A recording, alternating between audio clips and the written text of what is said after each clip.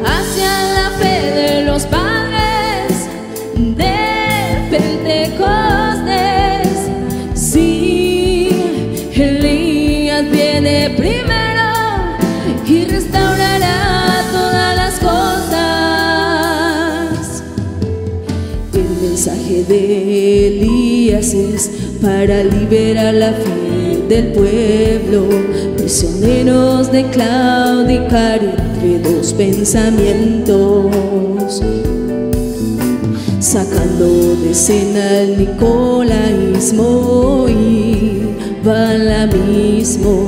Y después de la gran sequía por causa de Acab y Jezabel, traer de regreso lluvia temprana lluvia tardía.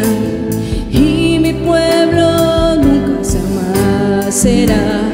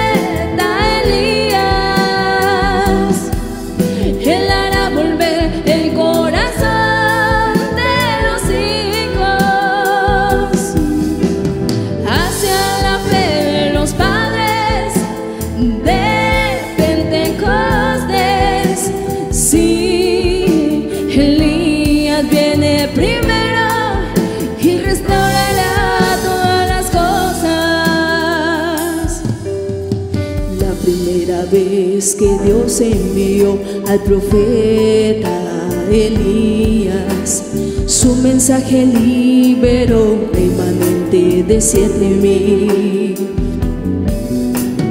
Es la quinta vez que Dios enviará al profeta Elías, serán liberados ciento cuarenta y cuatro mil. Cuarta vez que Dios ha enviado al profeta Elías, un pueblo gentil como la viuda de Sarepta obtendrá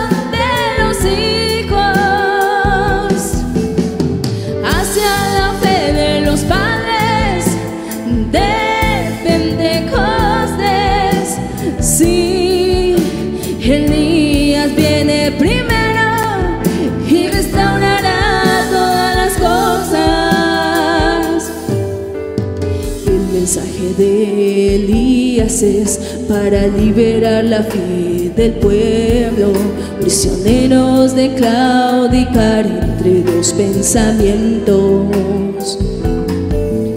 Sacando de escena el nicolaísmo y balamismo, y después de la gran sequía por causa de Acab y Jezabel traer de regreso lluvia temprana y lluvia tardía. Y mi pueblo nunca jamás será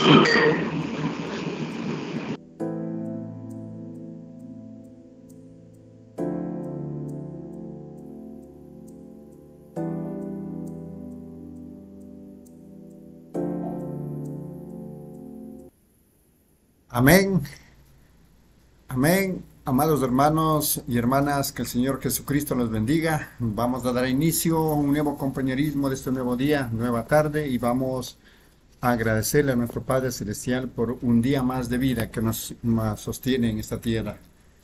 Gracias, Padre Celestial, por tus maravillas, por tu misericordia, por tu infinita gracia, Padre amado, que tú nos permites estar en este mundo, en esta tierra, Padre amado.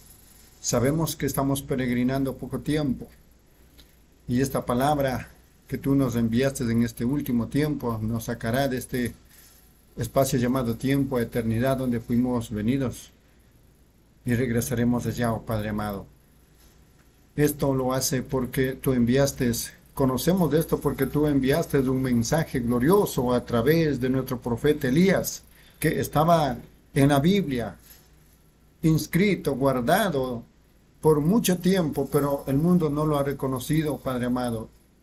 Más aún si estaba en misterio, como dice textualmente Apocalipsis 17, sino que en los días de la voz del séptimo ángel, cuando él comience a tocar la trompeta, el misterio de Dios se consumará, como así lo anunció a sus siervos los profetas.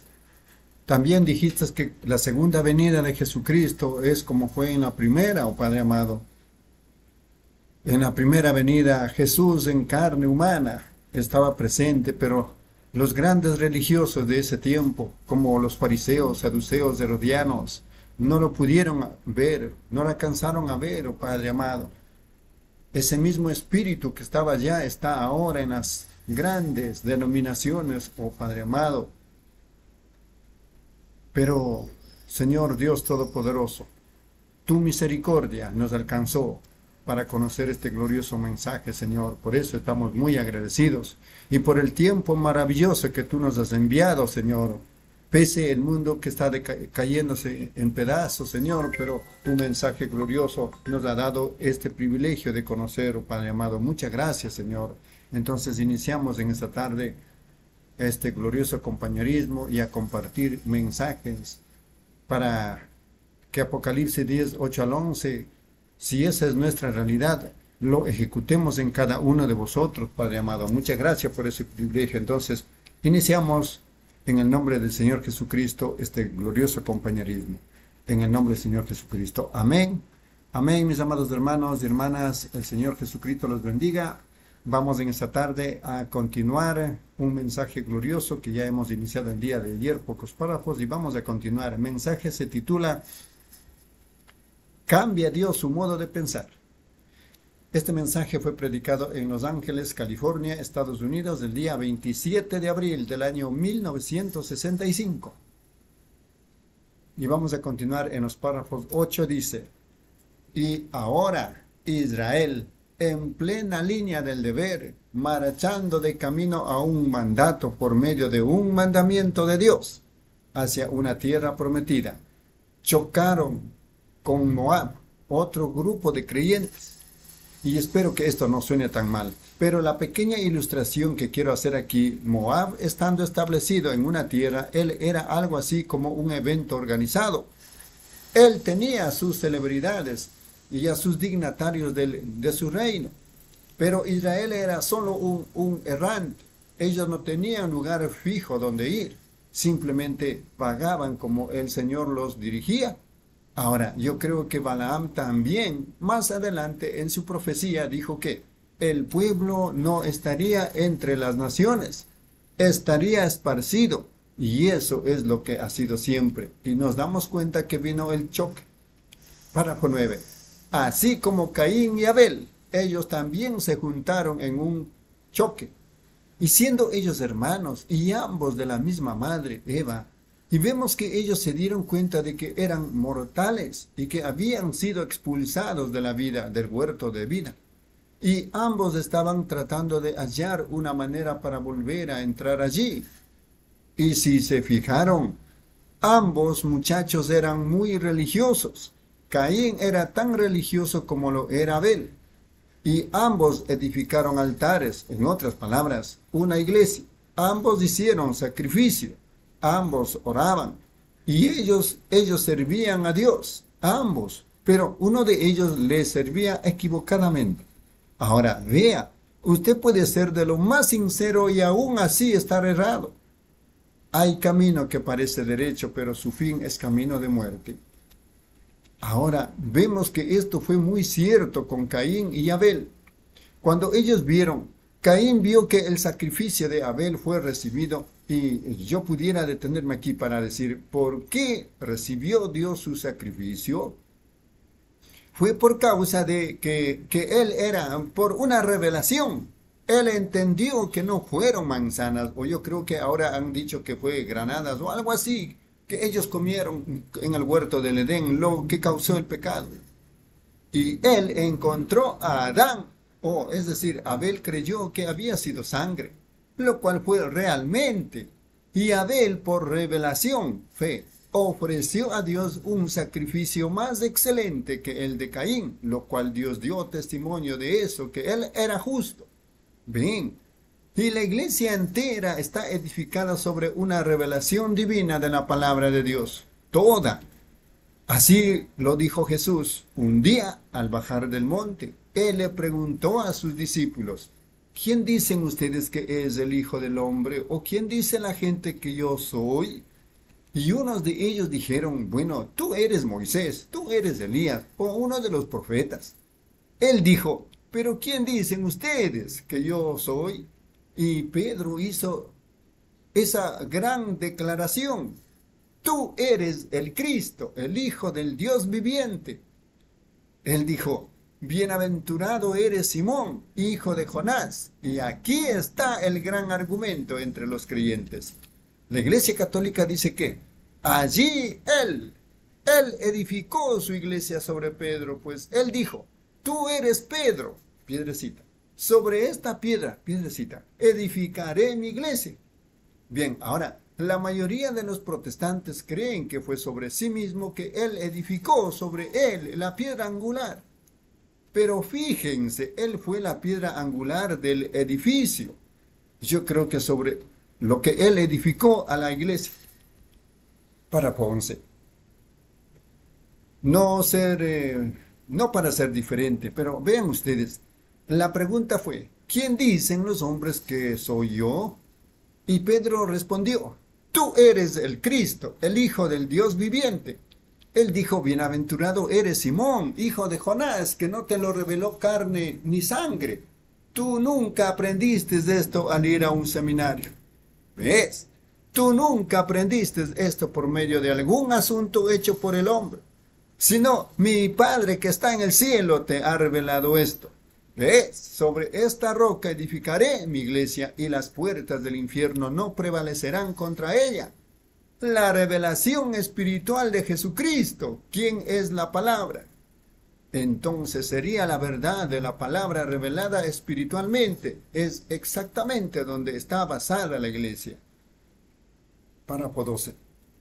Yo creo que eso es lo que tuvo Abel en el principio. Una revelación espiritual de que no fue el fruto del campo o las obras de nuestras manos o así por el estilo. Fue sangre, y él ofreció a Dios un sacrificio más excelente que, que Caín. Hallamos la misma cosa en Abraham y en Lot, en una elección, porque Lot fue allá cuando llegó el tiempo, cuando la iglesia espiritual y la, la natural entraron en choque por causa de los pastores. Ellos tuvieron que separarse el uno del otro, y siempre que esto ocurre causa un celo. Hallamos que Abel, por causa de que Dios le, lo había aceptado a él, y no recibió la grande y hermosa ofrenda de Caín, por lo cual él había trabajado con tanto empeño, y fue religioso, se inclinó y adoró, y así por el estilo, hizo todo lo que hizo Abel, solo que no tuvo la revelación de lo que era la verdad. Así que nos damos cuenta que cuando Dios aceptó la revelación de Abel y su ofrenda, esa, eso fue que Caín se pusiera celoso de Abel y hubo el primer homicidio. Hallamos que entró el celo entre los pastores de Abraham y los pastores de Lot, y ellos tuvieron que separarse. Vemos que Moisés y Coré también tuvieron un choque. Jesús y Judas tuvieron un choque. Y como siempre, ha sido la misma cosa y así es hoy. Cuando la iglesia natural y la iglesia espiritual se juntan, tienen un, un choque. Ahora, el natural siempre intenta imitar al espiritual con una personificación carnal. Pero así como fue con Esaú y Jacob, eso no funcionará. Párrafo 13. Dios tiene a su iglesia llamada nombrada y apartada. Y en la edad en que ella vive, él mismo se revelará a ella cada vez, así como Él dijo en Romanos capítulo 8, para que el previo conocimiento o predestinación de Dios pudiera estar firme. Caín, o es decir, eh, Esaú y Jacob, antes de que cualquiera de los dos muchachos naciera, antes de que incluso tuvieran oportunidad de escoger, Dios dijo, aborrezco a Esaú y amo a Jacob, porque él sabía lo que había en ellos desde el principio, y sabemos, tenga eso presente, Él sabe lo que hay en su corazón. Él sabe cuál es su intención. No importa lo que digamos, Él sabe cuál es su intención. Y eso siempre ha causado problemas. Ellos, el siempre, el natural siempre intenta, desde que Caín mató a Abel, el natural siempre ha intentado destruir los efectos de lo del espiritual. Hoy hallamos lo mismo, la mismísima cosa. Prueba que eso proviene de Satanás porque eso, es, celo y personificación de la verdad. Párrafo 14. Así que realmente creemos que Dios nunca cambia su modo de pensar con respecto a lo que Él dijo. Él siempre lo mantiene fiel, amén. Pero Él tiene una voluntad permisiva. Ahora, allí es donde está el problema. Nosotros tratamos de obrar en base a la voluntad permisiva de Dios y Él lo permite. Pero también, si tomamos su voluntad permisiva, aunque no sea correcto, Él hará que su voluntad permisiva obre juntamente para glorificar su voluntad perfecta. Para Dios no hay nada que salga mal. Nosotros somos. Él sabe exactamente en dónde está marcando el reloj en esta noche. No hay nada incorrecto. Cada manecilla está marcando exactamente como debiera todo. Nosotros pensamos que es incorrecto, pero Él sabe que es correcto. De esta manera debe ser. como en el principio. Dios simplemente permitió que el pecado viniera. Él no, no, eso no era su voluntad perfecta. Párrafo 15. Pero vean, Dios, el gran espíritu, el Padre, en él habían atributos y estas cosas que usted ve desplegada ahora simplemente son sus atributos siendo desplegados. Él habitaba solo, él ni siquiera era Dios, Dios es un objeto de adoración. Él era el gran eterno y en él habían atributos tales como ser Padre, ser Salvador, ser Sanador. Y ahora, ¿cómo, cómo podía él primero? Él tenía que ser Padre porque está demostrando que Él es Padre. Pero Él habitaba solo. Solo Él es inmortal. Y ahora, pero sus atributos tenían que ser desplegados. Ahora, para ser Salvador, algo tiene que estar perdido. Y Dios no puede perder algo a propósito y luego redimirlo. No sería propio para su santidad y para su gran juicio. Pero Él puso al hombre sobre la base del libre albedrío, sabiendo que el hombre caería. Y entonces en eso, Él mismo llegó a ser hombre para redimir nuevamente al hombre que había caído. Esa es la razón por la que Jesús era Emanuel. Si Dios enviaba otra persona aparte de él mismo, entonces eso no sería justo. Dios tenía que venir él mismo para tomar ese lugar. Y Dios no podía venir en espíritu y tomar el lugar. Él tuvo que hacerse carne en la carne de su propio Hijo creativo. Y Él mostró aquí en el principio que su voluntad perfecta era crear al hombre del polvo de la tierra. Pero, ven ustedes, Él permitió que el sexo fuese introducido. Él nunca quiso que los hijos nacieran por medio del sexo, pero fue permitido, lo cual acabará pronto. Amén. Párrafo 16. Ahora, encontramos que Moab era un ilegítimo para, para comenzar, porque era hijo de Lot por medio de su propia hija. Ahora noten, así como la iglesia natural, Moab reprende, eh, representa la, la, iglesia natural, Moab e Israel, la iglesia espiritual, ahora Israel, la novia, era la, eh, representa a los llamados fuera. La iglesia misma, la palabra iglesia significa el llamado fuera a salir. A aquellos que han salido, salid de ella, pueblo mío. Separaos, dice el Señor, y yo os recibiré a mí mismo. No toquéis sus cosas inmundas. La iglesia de Dios es llamada a salir del mundo, del caos del mundo. Ustedes ya no son del mundo. Párrafo 17 por último. Como trataba de decirle la otra noche, es cuando usted sabe que tiene las arras de su, de su redención eterna ahora mismo en usted por medio del bautismo del Espíritu Santo. Eso ya lo ha vivificado a usted. Ustedes ya han resucitado con Él y estamos sentados juntos en lugares celestiales en Cristo Jesús. Ven, ustedes ya no son del mundo. Si ustedes aman el mundo y sus afectos están todavía en las cosas del mundo, entonces el amor de Dios ni siquiera está en ustedes. Ven, estamos de libres del mundo. No hay más deseo. En los hebreos, creo que en el capítulo 10 dice, continuamente cada año se hacía memoria del pecado mediante el sacrificio de esos animales. Pero en este caso, el adorador, una vez limpio, no tenía más deseo de pecar. La cosa entera se ha ido de usted porque usted ha sido vivificado a una vida nueva. Amén, gloria a Dios. Amén, mis amados hermanos y hermanas, recordando que en esta hermosa tarde estamos lecturando y compartiendo la lectura de este glorioso mensaje titulado Cambia Dios su modo de pensar. Los Ángeles, California, Estados Unidos, el día 27 de abril del año 1965. Continuando con la lectura, hermana Reina, por favor, en los párrafos 18 al 27. Amén. Amén. Dios le bendiga, hermanos y hermanas. Continuamos con la lectura del mensaje. Cambia Dios su modo de pensar. Párrafo 18. Y entonces la iglesia natural es simplemente un montón de gente que se ha unido a denominaciones. Ya no es Ya ni siquiera la llamo iglesia. No me gusta referirme a ella así. Me gusta referirme a ella como una logia. La logia metodista, la logia bautista, la logia pentecostal. Pero la iglesia son los nacidos de nuevo que están en Cristo Jesús, que son nuevas criaturas. Así que aún vemos que Dios cumple su palabra. 18. Ahora, Moab vio. Moab miró el campo y vio a Dios moviéndose entre este pueblo que ni siquiera era una nación organizada. Ellos simplemente iban vagando de lugar en lugar.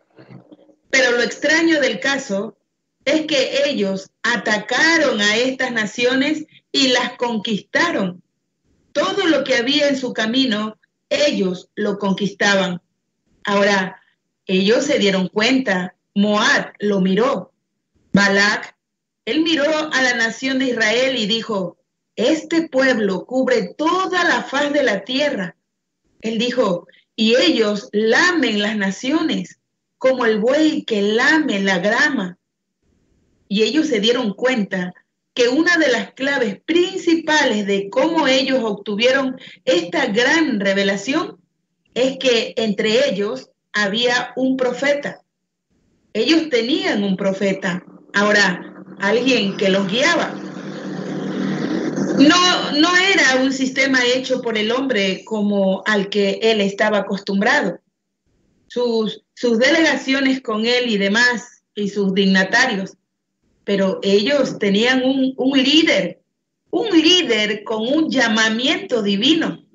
Y oh, Qué día tan triste fue cuando el mundo religioso dejó el liderazgo divino del Espíritu Santo y adoptó un obispo o cualquier otra cosa para que ocupara su lugar. Fue un día triste. El Espíritu Santo debe ser el líder de la iglesia. Él es enviado para confirmar las palabras de Jesucristo, para hacer que la iglesia viva como vivió al principio. 20. No hace mucho, una escuela muy famosa aquí en, en esta ciudad, un seminario. Ellos tienen uno en Phoenix y uno de los hombres o dos de los estudiantes estaban, vinieron a mí y dijeron, hermano Branham, usted nos agrada. Nosotros no tenemos nada en su contra, en lo absoluto pero simplemente quisiéramos corregirlo. Y yo dije, bueno, yo ciertamente quiero ser corregido. Y entonces dije, si yo estoy errado, ciertamente no quiero estar errado. Yo le hablo a mucha gente. Y él dijo, bueno, aquí está su problema. Dijo, usted está tratando de introducir o de hacer que vuelva a vivir una religión apostólica cuando la religión apostólica cesó con los apóstoles. Y yo dije, sí, Señor. Dije, bueno, sí. Él dijo, mire, yo no quisiera debatir eso con usted. Yo dije, yo tampoco. Nosotros no lo haríamos. No estamos llamados a hacer eso. Somos hermanos. Y él dijo, bueno, dijo, dijo él, yo solamente quisiera ayudarlo a usted. Yo dije, yo ciertamente estoy dispuesto a recibir ayuda. Y él dijo, bueno, verá, dijo él, bueno, él, eso es verdad, 21. Y yo dije, ahora, al hablar, no debemos utilizar libros de texto. Dije, yo no utilizaré los míos. Y yo no tenía ninguno, sino este. Pero entonces, entonces dije, yo no usaré el libro de texto, solo la Biblia. Él dijo, está bien. Yo dije, ahora, nosotros creemos que la edad apostólica empezó en el día de Pentecostés. ¿Está usted de acuerdo con eso? Él dijo, sí. Yo dije, ahora sabemos que Dios le dio poder a la iglesia allí para estos movimientos apostólicos. Él dijo, sí, eso fue el armazón de la iglesia. Ahora la iglesia ya está puesta en orden. y tenemos a todos nuestros pastores y nuestras grandes organizaciones y cosas. Ya no necesitamos más esas cosas para atraer gente. Yo dije, ahora, ¿en dónde dice eso la Biblia? Dije, dígame usted, ¿en dónde dice eso la Biblia? ¿Ven? Y él dijo, bueno, no dice eso exactamente de esa manera. 22. Yo dije, bueno, entonces yo no puedo aceptarlo a menos que lo diga exactamente de esa manera. ¿Ve? ¿Ve? Yo dije, nosotros somos. Dije, esa es la manera como tiene que ser. Yo dije, ¿cree usted que Dios aún está llamando gente? Él dijo, sí, Señor. Yo dije, ahora, ¿creerá usted que la Biblia está correcta cada respuesta? Sí. Yo dije, ahora, el portavoz en el día de Pentecostés era Pedro, quien tenía las llaves del reino. Eso es correcto. Y yo dije, ahora, cualquiera que fuere su decisión, Jesús dijo, lo que atares en la tierra, yo lo ataré en el cielo. Lo que desatares en la tierra, yo lo desataré en el cielo. Él dijo, yo creeré eso. Yo dije, ahora, en Hechos capítulo 2, versículo 38, Pedro les dijo a aquellas personas que estaban maravilladas, estas personas estaban hablando en lenguas extrañas. Ellos le preguntaron a él qué podrían hacer para ser salvos. Y él les dijo, arrepentíos cada uno de vosotros y bautícense en el nombre de Jesucristo para la remisión de pecado y recibiréis el don del Espíritu Santo, porque para vosotros es la promesa y para vuestros hijos y para los que estáis lejos, aún para cuantos el Señor nuestro Dios llamare. Ahora, si Dios aún está llamando, esa misma promesa es para ellos. Amén. Bueno, él vino para acá y estuvo con uno de los grupos de Billy Graham. Aquí orando por una reunión y un grupo de ellos estaba sentado aquí en California, en algún lado, hace unas semanas, en oración sincera y muy profunda, consagrado a Dios, ayunando, y el Espíritu Santo cayó sobre todo el grupo y empezaron a hablar en otras lenguas. Sí.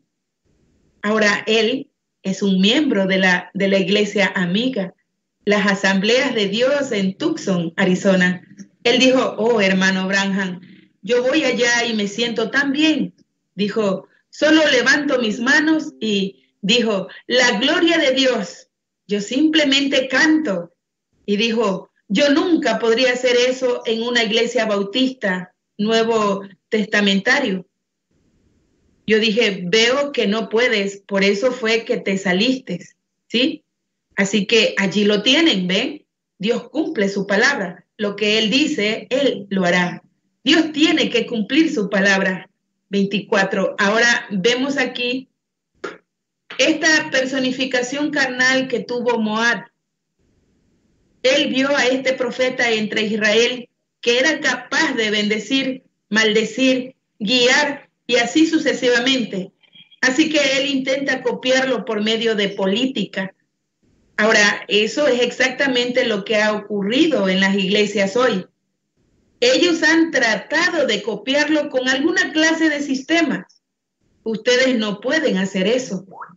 El Espíritu Santo debe estar vivo en la iglesia siempre, guiando a la iglesia para la edad en que estamos viviendo, para confirmar la palabra que está prometida para esa edad. Dios habló la palabra desde el principio, una porción para esta edad, otra porción para aquella edad y cierta porción para esas edades. Siempre sucede de esa manera. Y ven, el Espíritu Santo debe estar vivo en la iglesia para hacer que esta iglesia viva su, su día.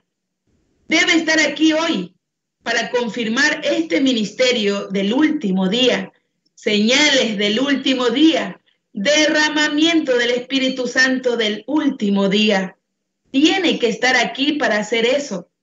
y ustedes no pueden obtenerlo por medio de la operación de sistemas. Dios tiene un sistema. Él es quien nos ha dado el Espíritu Santo. Amén. 25. Ahora notamos aquí que Moisés tenía un rey y ese rey era Dios que lo ungió. Y Balaán también estaba bajo un rey, Balac, y era algo así como un sistema político, ¿ven? Balac, Balaán, siendo profeta de Dios, acudió a Balac para su información. Moisés acudió a Dios para información. Allí estaba la diferencia. Amén. Sin embargo, ambos eran profetas, debido a que ambos fueron llamados por Dios. Ambos se encontraron con Dios. Ambos hablaron con Dios. Y ambos eran llenos del Espíritu. Ya voy a llegar al punto principal, ¿ven? Ahora, ambos eran hombres llenos del Espíritu. Eso es verdad. La Biblia dice que Dios se encontró con Balaán y habló con él, ¿ven? Así que nos damos cuenta que cada uno de estos profetas, siendo ambos profetas, hombres de Dios, ellos siguieron a su cabeza. Moisés siguió a Dios y Balaán aquí siguió a Balac. Fíjense en esto, tipificando al espiritual y al natural. Cuán perfecto fue. Moisés, enviado por Dios, en la línea del deber. Es enfrentado y retado por otro hombre de Dios. ¿Pudieran ustedes imaginarse tal cosa? Pero miren, ¿qué sistema tenían ellos allí? Era una nación organizada. 26. Y Moisés estaba guiando a los hijos de Israel, a donde Dios les decía que fueran, guiados por una columna de fuego y un ser sobrenatural que les mostraba el camino y Moisés estaba recibiendo su información a través del logos, por supuesto, que salió de Dios. Esa columna de fuego, que era el ángel del pacto, el cual era Cristo, el ungido. Y él estaba recibiendo su mensaje a través de allí y se lo daba a los hijos de Israel de camino a la tierra prometida. Pero este hombre estaba muy cómodo y tenía su reino, tenía sus iglesias, tenía todo allí mismo en orden. Así que manda a buscar a este hombre para que venga y maldiga a este pueblo. Y noten, ¿pudieran ustedes imaginarse a ese profeta, un hombre de Dios, viendo las obras de Dios en otro hombre? Y luego tratar de, de retar esas obras de Dios, cuando él sabía, debería haber tenido mejor juicio Ahora, Balaam, al principio, cuando Balac mandó a buscarlo y le dijo, ven y maldíceme este pueblo. Ahora, Balaam hizo la misma cosa. O 27. Balaam, mejor dicho, hizo lo que era correcto. Él buscó a Dios. Él primero buscó a Dios. Ahora, eso es lo que él debió haber hecho. Y entonces Dios le dio su respuesta perfecta y bien definida. No vayas con él, déjalos quietos, no maldigas a ese pueblo, ellos son benditos. Ahora, eso debiera ser suficiente. Cuando Dios dice algo, Él no puede cambiar eso. Noten, su voluntad perfecta era, no vayas, no ataques a ese pueblo, ellos son mi pueblo. Esa era su voluntad perfecta. Pero para comenzar, a Balaán no le agradaba a esa gente. ¿Ven? Allí lo tienen. ¿Cuántos Balaán tenemos hoy? La misma cosa, lo mismo. Ellos saben lo que deben hacer. Los tuvieron en los días de nuestro Señor Jesús. Nicodemo vino y dijo, Rabí, nosotros sabemos que eres un hombre enviado de Dios o un, un maestro enviado de Dios. Nadie pudiera hacer las cosas que tú haces a menos que Dios no estuviera con él. ¿Ven? Ellos miraron. Allí, estaba, Balaam nuevamente, ¿ven? Dios le bendiga, mis hermanos.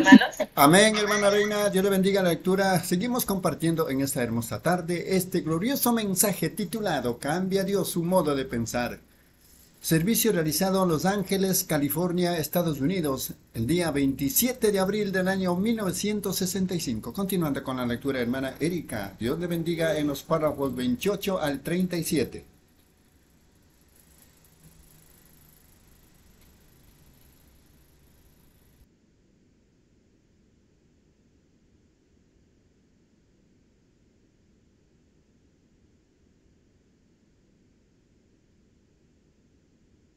Vamos a lecturar el mensaje Cambia Dios su modo de pensar del año 650427, párrafo 28. Ahora, a Balaam no le agradaba el pueblo. Fíjese en su cuartel general, después que habían enviado un hombre fino allá para decirle, mira, hay una gente viviendo por allá y tengo entendido que tú eres profeta. Eres un gran hombre, así que ven acá y maldice este pueblo. Balaam dijo, bueno, espero un momento hasta que vaya y ore y me, me quedé toda la noche. Quizás el Señor se me aparezca y me diga, muy bien, a la mañana siguiente el Señor vino a él y le dijo, no vayas, no maldigas a, esa gente, ellos son benditos. Muy bien, Balaam salió y dijo, bueno, no puedo ir porque el Señor me dijo que no fuera. Fíjese, ahora cuando ellos regresaron y fueron al cuartel general, para que él fuera allá y detuviera esta reunión que ellos tenían. ¿Ven ustedes? Bueno, entonces nos damos cuenta que el cuartel general envió un mejor grupo de gente, dignitarios, más refinados, tal vez a un obispo, alguien más, o pudiera haber sido un prevístero estatal, alguien enviado allá. Dile que vaya y detenga eso de cualquier forma. ¿Ven? Noten. Su grupo más influente, mejores regalos, más dinero, dijo, yo puedo elevarte a una posición mejor. Yo pudiera hacerte, en vez de ser simplemente un hombre común y corriente, yo puedo llevarte un poco más, más alto.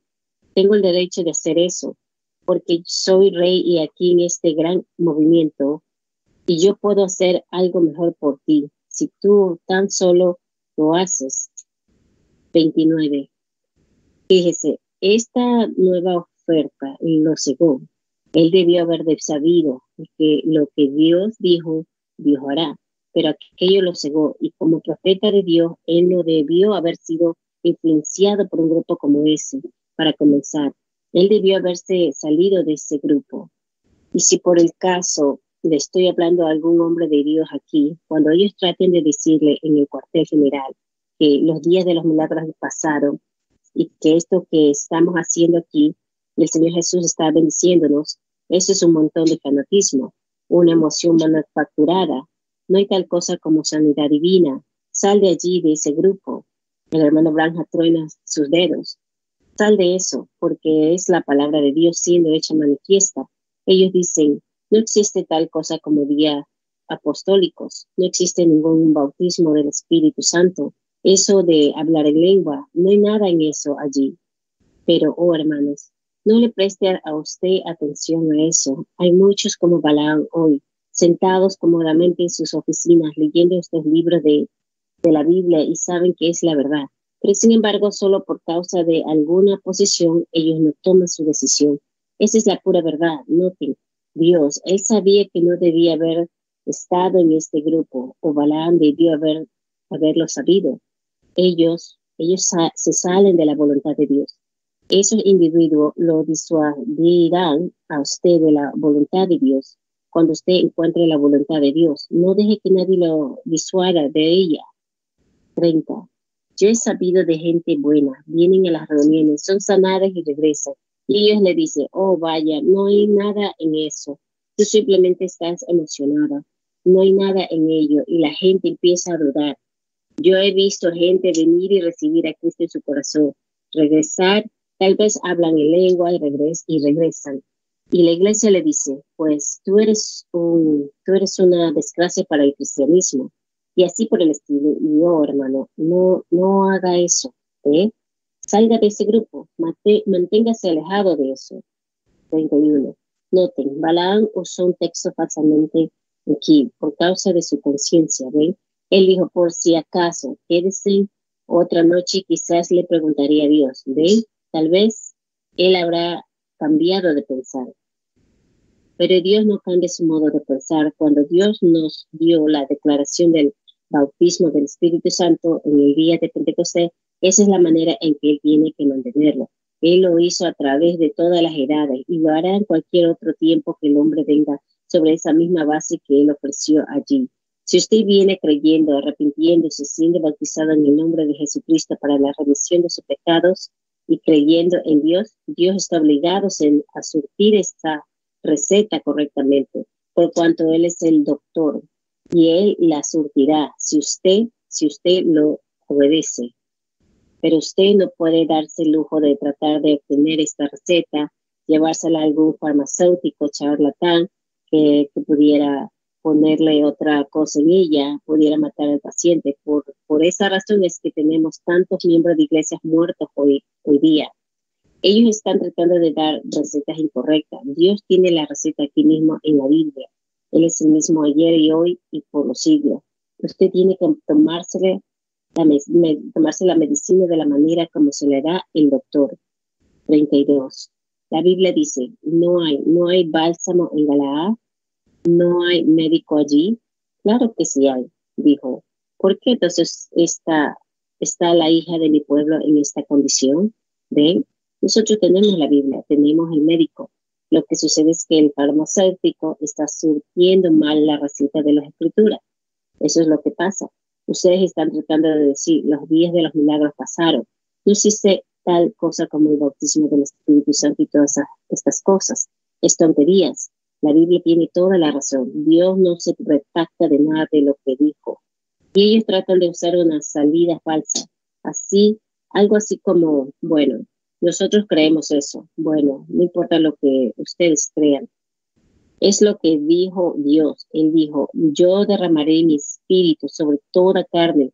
Él prometió esto en los últimos días. ellos tratan de decir que las reuniones que ustedes están viendo, ellos me llaman un adivino, un adivino pulido o un Belcebú o algún demonio.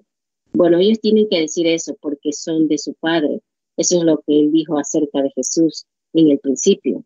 Y a fin de cuentas no somos nosotros haciendo esto, es el mismo Jesús, porque Él es el mismo ayer, hoy y por siglo. Es su espíritu. 33. O alguien me pudiera, alguien que pudiera pasar por, pasar por alto y pasar por alto su comisión. Así que mucha gente se trata de pasar por alto eso. O venga y únese a la iglesia y todo estará bien. Nosotros somos una iglesia antigua. Hemos estado aquí por muchos años. Comencemos. Sí, eso es correcto. Si eso es, así, entonces la Iglesia Católica les lleva la ventaja a todos ustedes. Ellos son la primera de las organizaciones. Ellos fueron primero, pero recuerden, no la primera iglesia, ellos fueron la primera organización y la madre de cada una de ellas, la cual cada una de ellas es contraria a Dios.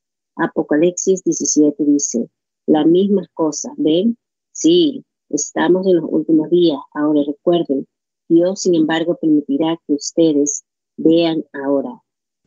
Entonces Balaam, él pensó, bueno, 34. Dios entonces le dijo, anda, ¿por qué? Dios sabía lo que había en su corazón. Para comenzar, Dios sabía lo que había en su corazón, así que le dijo, anda, Él le, permitirá, él le permitirá, Él le permitirá a usted hacerlo. Él le bendecirá a usted muchas veces al hacerlo. Él incluso bendijo a Israel después que ellos, la gracia les había dado un profeta, una columna de fuego, una liberación, señales y maravillas. Los sacó de Egipto y todos, y sin embargo ellos querían una ley. Dios permitió que la tuvieran, pero los maldijo todo el tiempo. Él permitió que Balaam siguiera como que se, se suponía que debía hacerlo. Pero ¿qué hizo él? Él fue allá y en vez de maldecir al pueblo, tuvo que bendecir al pueblo. Él no pudo maldecir lo que Dios había bendecido. 35. Y yo les digo que iba a terminar a las nueve.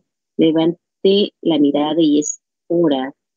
Tengo un libro lleno de apuntes aquí, pero quiero decir esto, ya para terminar, que Dios nunca cambie su modo de pensar.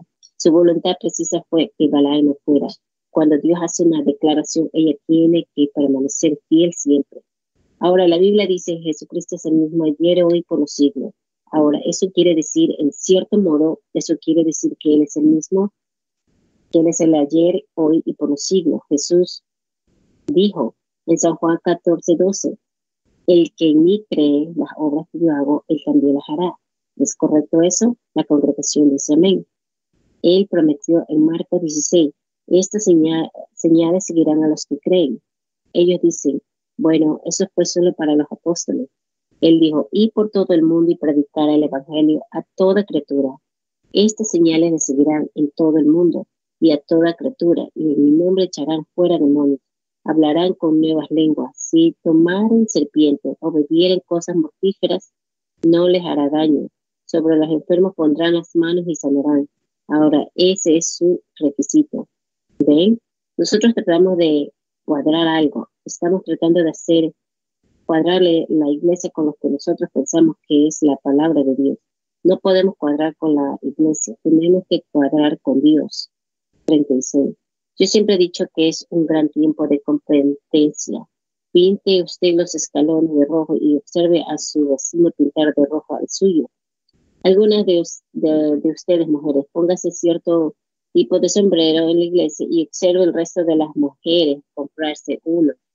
La señorita Jacqueline Kennedy tenía este corte de cabello corto y esponjoso y miren a todas las mujeres. Ella usaba esos delantales color de saco, cosas así. Y es un escándalo que una mujer esté en la calle con esas cosas puestas así. Miren a todas las mujeres haciendo todo, haciendo lo mismo es una imitación, pero es lo que está en el mundo. La gente de las iglesias tomó eso y es una vergüenza que hagan eso. Es incorrecto que ellos lo hagan y es una desgracia. Cuando lo vemos infiltrándose en Pentecostés es más vergonzoso, ¿correcto? Pero ven ustedes, la iglesia tolera eso y lo deja pasar. Ahora, a nosotros no nos importa. A mí nunca me preocupó si mi abrigo combinaba con mis pantalones o si mi corbata combinaba con mi abrigo. Yo quiero que mi experiencia cuadre con la, con la Biblia de Dios y su requisito. Y eso es lo que nosotros como gente pentecostal deberíamos hacer, tener nuestra experiencia así como fue la de ellos, porque Él es el mismo Jesús, el mismo Espíritu Santo, el mismo poder. Él está vivo hoy y vive entre nosotros. 27. Me hace recordar que un día, un día su madre se había ido de Jerusalén de la adoración y su padre adoptivo José. Y ellos fueron a, tres días de camino, presumiendo que él estaba junto con ellos, y se dieron cuenta que él no estaba allí. Y ustedes saben, yo quiero comparar eso con el día de hoy. Ustedes saben, la iglesia ha tenido una jornada de tres etapas. Lutero, Wesley, Pentecostés. Una jornada de tres etapas. Dios le da un mensaje, justificación, Lutero, él se aferró a eso. Luego vino santificación a través del juicio. Luego el bautismo del Espíritu Santo con Pentecostés. Y yo me pregunto si no nos desviamos todos en una gran competencia en algún lado para edificar grandes cosas y hacer cosas grandes, así como tenía Balaán en su mente. Grandes organizaciones, una superando a la otra, y está más dando medallas de oro para la escuela dominical y quién podría traer más miembros y aceptar cualquier cosa dentro de la iglesia.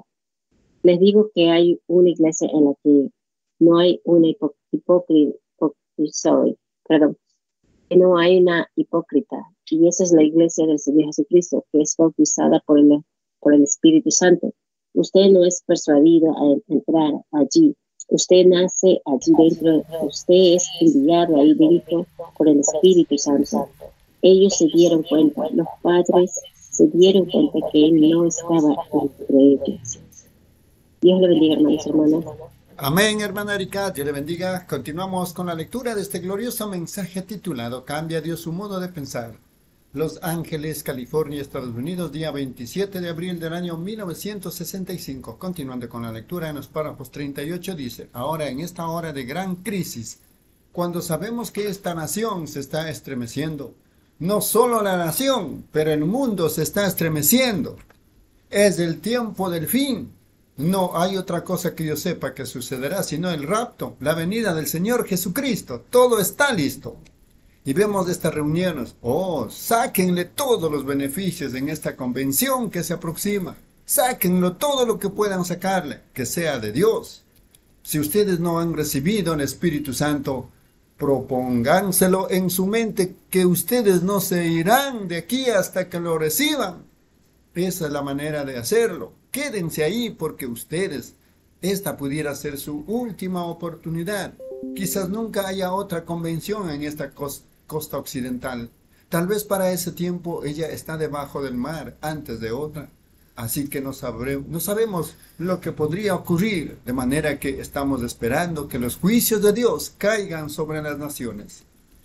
Párrafo 39. Ahora, permítanme decir esto. Ellos pensaron que Él estaba con ellos, pero se dieron cuenta en la crisis que Él no estaba. Ven ustedes, Él no estaba con ellos. Ahora nos damos cuenta que en el tiempo cuando esta gran cosa ha sido traída a flote, vemos que nos falta algo en nuestras y ese es el poder de Cristo. Ahora, miren, yo no deseo criticar, yo les amo y el amor genuino y verdadero siempre es correctivo. Nos falta Cristo en nuestras iglesias, nos falta Cristo entre nuestra gente pentecostal, nuestros hermanos y hermanas. Algo anda mal las reuniones de oración chapanas a la antigua que ellos solían tener, ya no las tienen. Nuestras mujeres solían usar pelo largo, ya no lo hacen. Sería una desgracia que las mujeres se pintaran y usaran pintura. Allá en los días primitivos y actuaron como lo hacen estas mujeres. Algo salió mal. No hay nada malo con Cristo. Ven, pero algo salió mal. En alguna parte hay algo. Antes no se permitía tal cosa como esta desde el púlpito, pero ahora sí. Ven, la crisis está aquí y nos falta algo. Nos falta el poder que deberíamos tener. La gran maquinaria debería estar avanzando con grandes señales y maravillas, pues este edificio ya debería estar tan lleno del poder de Dios a tal grado que un pecador no podría permanecer aquí sin que el Espíritu Santo lo reprenda rápidamente, así como Ananías y Zafira. Pero nos falta algo. Párrafo 40. Ahora, ¿qué sucedió? Ellos fueron a buscarlo entre sus parientes y no lo encontraron entre ellos. Así que, ¿en dónde lo encontraron? ¿Dónde mismo lo dejaron? Yo pienso, cuando nuestra iglesia comenzó con esta gran competencia organizacional que tuvimos, una tenía que superar a la otra y tuvieron que tener iglesias más grandes y mejor clase de gente y gente mejor vestida y mejores cantantes y pararse allí. a mí me gusta el buen cantar, me gustan los buenos cantos pentecostales de la antigua, pero no puedo soportar esa cosa fingida. Eso sencillamente no va conmigo aguantan la respiración hasta que el rostro se les pone morado, solo para que los oigan. Yo, yo creo en cantar con el corazón, en el Espíritu de Dios, como escuché aquí hace un rato. Ven, me gusta el buen gritar chapado a la antigua, pero yo creo que el gritar puede continuar y ya sea que la música esté tocando o no. El Espíritu de Dios sobre la gente hace bajar las bendiciones y el poder de Dios. Yo creo que el hombre puede testificar, cantar y alabar a Dios en su trabajo o donde quiera que estén, ciertamente. Y es que nos falta algo. ¿Dónde lo encontraremos a Él? Exactamente donde lo dejamos en la palabra. Oremos. Párrafo 41. Amado Padre Celestial, una de estas noches vamos a cerrar esta Biblia por última vez. El último canto será entonado el último sermón predicado, la última línea de oración será llamada, el último pecador entrará. ¿Y entonces qué? Oh Dios amado, nosotros no queremos tu voluntad permisiva, Padre. Permítenos caminar en tu voluntad perfecta. Permite, no permitas que tomemos una palabra aquí y allá y hagamos que encaje en un dogma o en un credo o en un algo así. Permite que tomemos la palabra como ella es, creyendo el Evangelio completo, todo lo que Jesús enseñó que hagamos. Nosotros no creemos que los hechos de los apóstoles son solo el, el armazón. Creemos que es la palabra de Dios, que son los hechos de tu Espíritu Santo en los apóstoles. Y creemos que el mismo Espíritu Santo, Señor, que vino sobre ellos y la manera en que ellos actuaron, hará la misma cosa en nosotros cuando venga sobre nosotros, si es el mismo espíritu. Así que yo ruego, Dios amado, que esta convención en cuya víspera estamos para comenzar mañana en la noche. Yo ruego, Padre Celestial, que sea la convención más grande que esta ciudad haya tenido jamás por causa de tu presencia.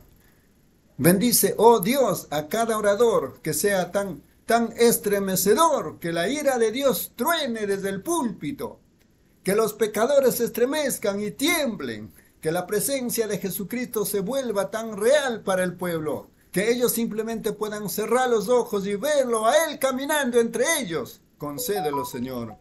Ahora, esta noche antes de que eso suceda, por lo cual estamos orando, amado Dios, algunos de tus hijos están enfermos, ellos han sido heridos y, y están dolidos. Yo he venido a orar por ellos. ¿Honrarás tú lo que yo te pido esta noche, Señor, por sus enfermedades? Yo confío en ti, que no habrá una persona enferma en este edificio cuando los servicios hayan terminado.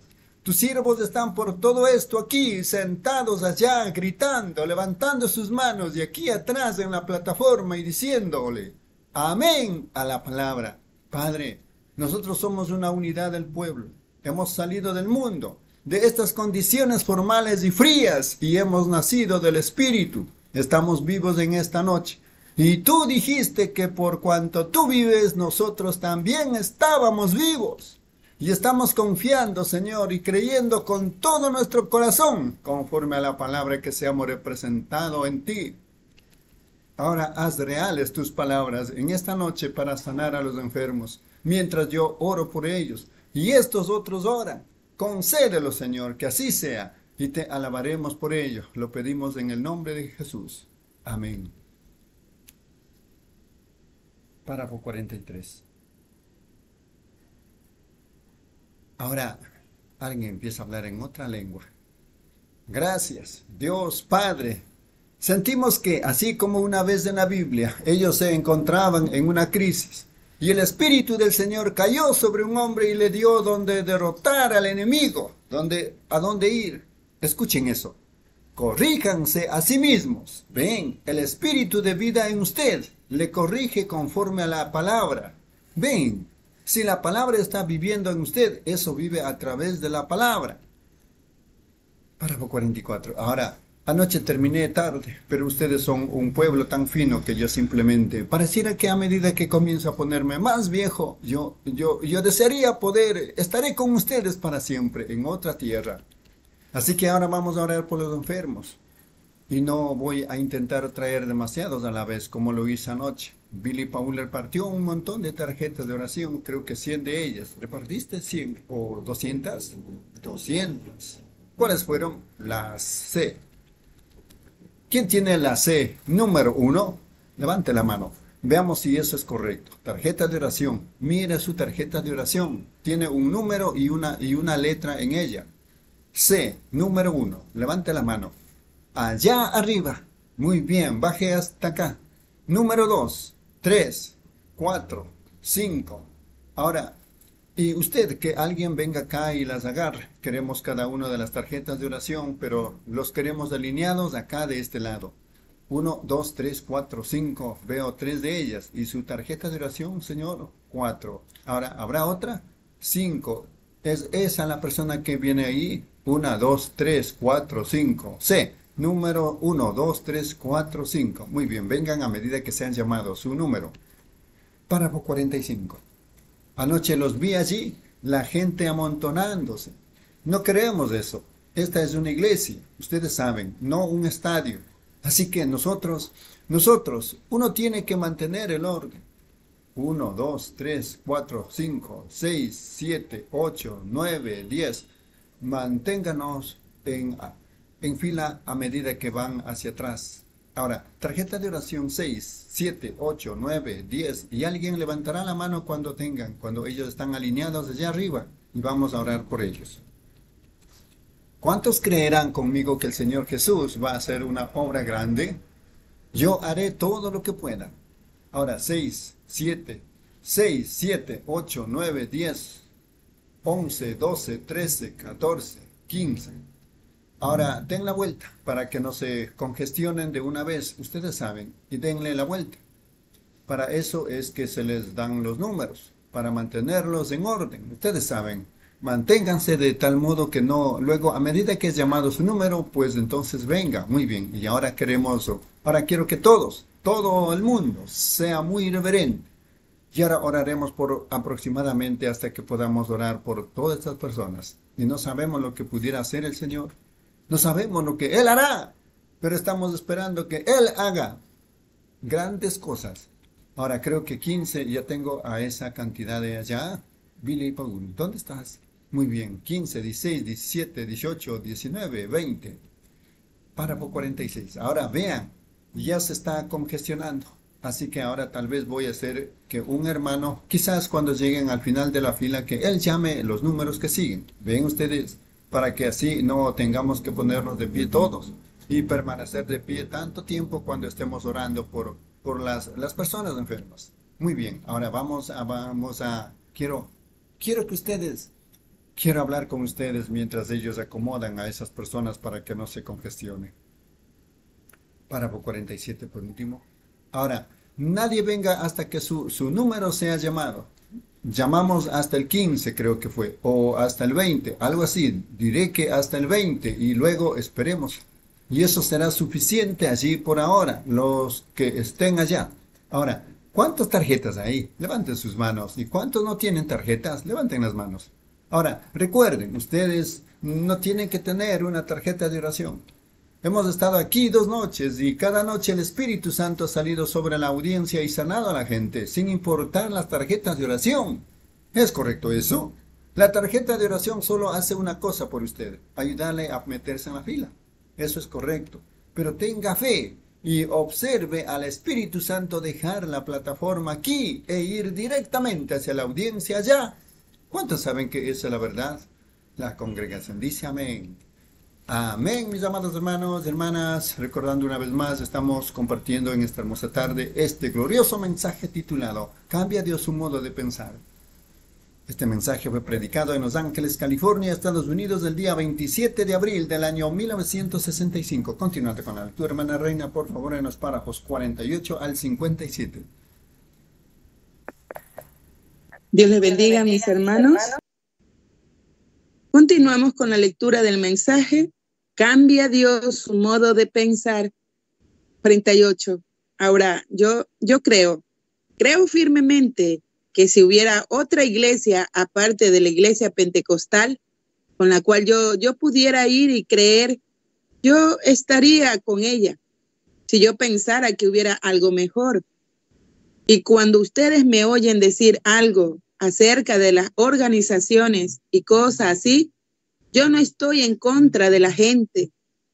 Es porque, ¿qué si usted viera a un hombre a quien amara allá en un bote flotando directamente hacia las cascadas y sabe que ese bote se iba a hundir con él y usted dijera, bueno, yo lo amo, pero él, él tiene sus propias maneras.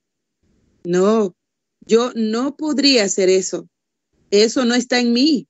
Yo gritaría, correría y lo agarraría, lo estremecería, jalaría o cualquier otra cosa para sacarlo de allí. ¿Ven? Y yo sé que eso no resistiría las cascadas. Correcto. El asunto es volver a Cristo, tan cierto como cualquier cosa. Hay que volver a Dios. Ahora yo, yo, todos aquí han estado antes en mis reuniones, ¿correcto? Levanten las manos si han estado en las reuniones. Muy bien, no hay ningún. ¿Hay algunos nuevos que nunca antes han estado en una de mis reuniones? Levanten las manos. Bien, ¿qué? Yo nunca. ¿Es esta la primera vez que usted ha estado en una de mis reuniones? Levanten las manos nuevamente. Bueno, les digo, yo Quizás será mejor que cambie esta cosa. Un hermano dice, explique un poco acerca de su ministerio. Bueno, será mejor. Ustedes, para ustedes personas que acaban de llegar, yo, yo voy, necesitaré un poquito, unos minutos más. Permítanme explicar para que no se vayan con la impresión equivocada. ¿Ven? Yo creo en todo acto de Dios pero sí creo que la Biblia nos promete en los últimos días que ha de haber, regresará la iglesia tiene que entrar al mismo orden en que estaba, donde Jesús la dejó cuando se fue. ¿Ven? Es la novia. Tiene que regresar a ese lugar. Ahora, hemos pasado por las grandes obras de Dios a través de justificación, santificación, el bautismo del Espíritu Santo, la restauración de los dones.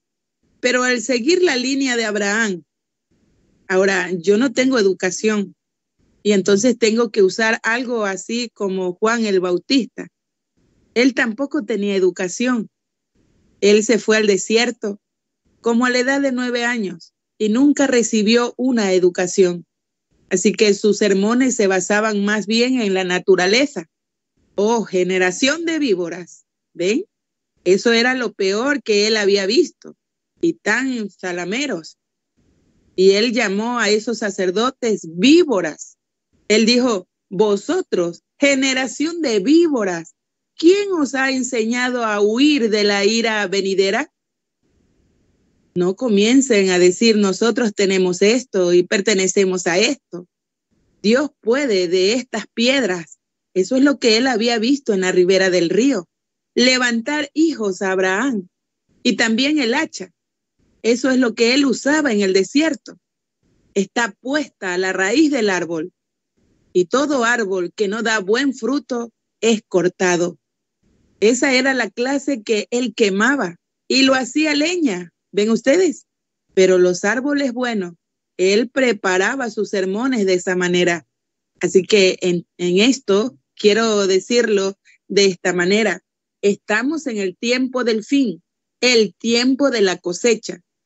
Ahora, en la jornada de Abraham, él se encontró con Dios todo el tiempo en formas distintas y demás, lo cual podríamos tomar eso y mostrarlo. Nosotros somos la simiente de Abraham y estamos en Cristo. E Isaac era realmente su, su hijo menor. Él era su hijo sexualmente pero espiritualmente, Cristo fue la simiente de Abraham, su simiente real, su fe. Amén. Ahora, vemos que su simiente real es, recorre la misma jornada, es decir, la novia de Cristo recorre la misma jornada que recorrió Abraham. Y la última señal que vio Abraham antes que viniera el Hijo prometido fue cuando Dios se manifestó manifestó en un cuerpo humano y dos ángeles descendieron. Jesús dijo en San Lucas el capítulo 17 y el versículo 30 que como fue en los días de Noé, él habló del tiempo de Noé y dijo, como fue en los días de Sodoma. ¿Ven? Su venida. Así será en los días cuando el Hijo del Hombre esté siendo revelado. Ahora, él nunca dijo, el Hijo de Dios esté siendo revelado. El Hijo del Hombre. 52. Ahora, Jesús vino en tres nombres. Hijo de hombre, lo cual es un profeta. Hijo de Dios, lo cual fue a través de la edad de la iglesia. Luego, hijo de David. Pero entre hijo de Dios e hijo de David de acuerdo con su propia palabra y de acuerdo con Malaquías 4 y muchas escrituras, él debe regresar nuevamente en su iglesia, en forma física, en la gente, en seres humanos, en la forma de siendo un profeta. ¿Ven? Amén. Y vean lo que hizo este hombre cuando descendió para visitar a Abraham. En primer lugar, él le dijo a Abraham acerca de su nombre siendo cambiado, porque él no lo llamó Abraham, sino que lo llamó Abraham. Y cuando lo hizo, pues nos damos cuenta que, que él dijo, ¿dónde está tu esposa Sara? S-A-R-A, no S-A-R-A-I. Pues dijo él, ella está en la tienda detrás de ti. Él dijo, ella tenía 90 años y Abraham tenía 100. Y él dijo, voy a visitarte de acuerdo con la promesa, el tiempo de la vida. Y Sara del lado adentro lo oyó. estaba escuchando a través de la pared de la tienda y se rió entre sí. Y el ángel, el hombre que estaba sentado allí, dijo, discernió su espíritu en la parte de atrás, detrás de él, y dijo, ¿por qué se rió Sara diciendo acerca de estas cosas? Bueno, llamaron a Sara a que saliera y ella lo negó. Él dijo, pero tú sí lo hiciste. Ella estaba asustada. Ahora, Jesús dijo antes de la venida del Hijo de Dios o el Hijo de la segunda venida, que esta edad en la que vivimos, Él viene como Hijo del Hombre, un profeta, porque eso cumple la escritura. Moisés dijo, profeta como yo, te levantará Jehová tu Dios. Todos sabemos que ese era Jesús, ¿no es cierto? La congregación dice amén. Así que él tenía que venir de acuerdo con la escritura, un profeta. Él nunca se llamó a sí mismo el Hijo de Dios. Él se llamó a sí mismo en Hijo del Hombre. Pero ahora él es, a través de la edad de la iglesia, él ha sido Hijo de Dios. En el milenio, él será el Hijo de David, sentado en el trono de David. Pero entre este tiempo vemos por medio de las escrituras que él debe revelarse a sí mismo como hijo de hombre, un profeta, porque la palabra de Dios viene solamente a los profetas, nunca a los teólogos, es a profetas. Y el Señor dijo que él no hacía nada en su palabra inmutable de la cual acabamos de hablar, hasta que primero él le muestre a sus profetas. Y en el tiempo del fin, esos siete sellos que esta Biblia ha sellado los misterios séctuples de todo lo de Cristo, tienen que ser revelados primero y solamente puede ser traído a un profeta. Hemos estado esperando eso por años y creemos que su espíritu está hoy entre nosotros. Así que nos damos cuenta. 54. Observen ahora cuando Jesús vino. Vean lo que él hizo para probar que él mismo era el Mesías, ese ungido. Un día, después que él había recibido, el Padre había descendido y morado en él, en la forma de una paloma que bajó del cielo diciendo, Este es mi Hijo amado, en quien me complace morar. Por esa razón él dijo, Yo y mi Padre uno somos. Mi Padre mora en mí no soy yo que hace las obras, es mi Padre que mora en mí. Amén. Juan dio testimonio, viendo a ese Espíritu de Dios descendiendo como una paloma. Una voz salió de ella diciendo, Este es mi Hijo amado en quien me complace morar. Ven, y él moró en él. 55. Observen ahora cuando comenzó su ministerio. Él tenía que actuar como hijo de hombre. Observen ahora lo que él hizo. Vino un hombre llamado Simón Pedro. Su nombre era Pedro entonces, más tarde fue llamado Pedro. Andrés había estado asistiendo a las reuniones de Juan. Y entonces cuando Jesús vino y Juan lo había presentado, él lo vio. Y Andrés le pidió a su hermano Simón que viniera a la reunión con él. Y a él le había sido dicho por su padre, le dijo que llegaría un tiempo antes de que viniera el verdadero Mesías, que se levantarían muchos Mesías falsos. Siempre ha sido de esa manera. Él dijo, pero hijos, recuerden, el verdadero Mesías, ustedes lo reconocerán porque él será de acuerdo a la escritura. Él será un profeta. Ahora, no hemos tenido un profeta por cientos y cientos y cientos de años, desde Malaquías, pero habrá mucha gente que hará reclamaciones, lo cual sabemos que hubo. Hubo un Jesús que se levantó y se llevó un grupo, y así por el estilo. Pero este Mesías verdadero será un profeta, y a todos los hebreos se les enseña a que crean que lo que dicen los profetas es la verdad. 56. Allí mismo, ese pescador sin educación, de quien se nos dice que no tenía educación suficiente como para escribir su nombre, dice la Biblia que él era tanto ignorante como sin letra. Él reconoció que ese era el Hijo de Dios. Él reconoció que ese era el Mesías, porque ahí estaba un profeta. Allí estaba aquel quien le dijo cuál era su nombre y le dijo cuál era el nombre de su padre. Entonces él supo que ese tenía que ser un profeta, porque ese hombre no lo conocía y a él fueron dadas las llaves del reino. 57. Y hallamos que habían unos parados allí escuchando eso. Uno llamado Felipe, quien tenía un, estaba teniendo estudios bíblicos con un amigo llamado Natanael, esperando al, al Mesías. Así que él corrió alrededor de la montaña como una jornada de un día y regresó y encontró a este Natanael allí debajo de, un, de una higuera orando y le dijo, ven y ve a quien hemos hallado, a Jesús de Nazaret, el hijo de José. Entonces Natanael, siendo, o Felipe, o Natanael, mejor dicho, siendo un buen hombre, dijo, bueno, de Nazaret podría salir algo bueno. Él dijo, bueno, dijo él, solo ven y ve.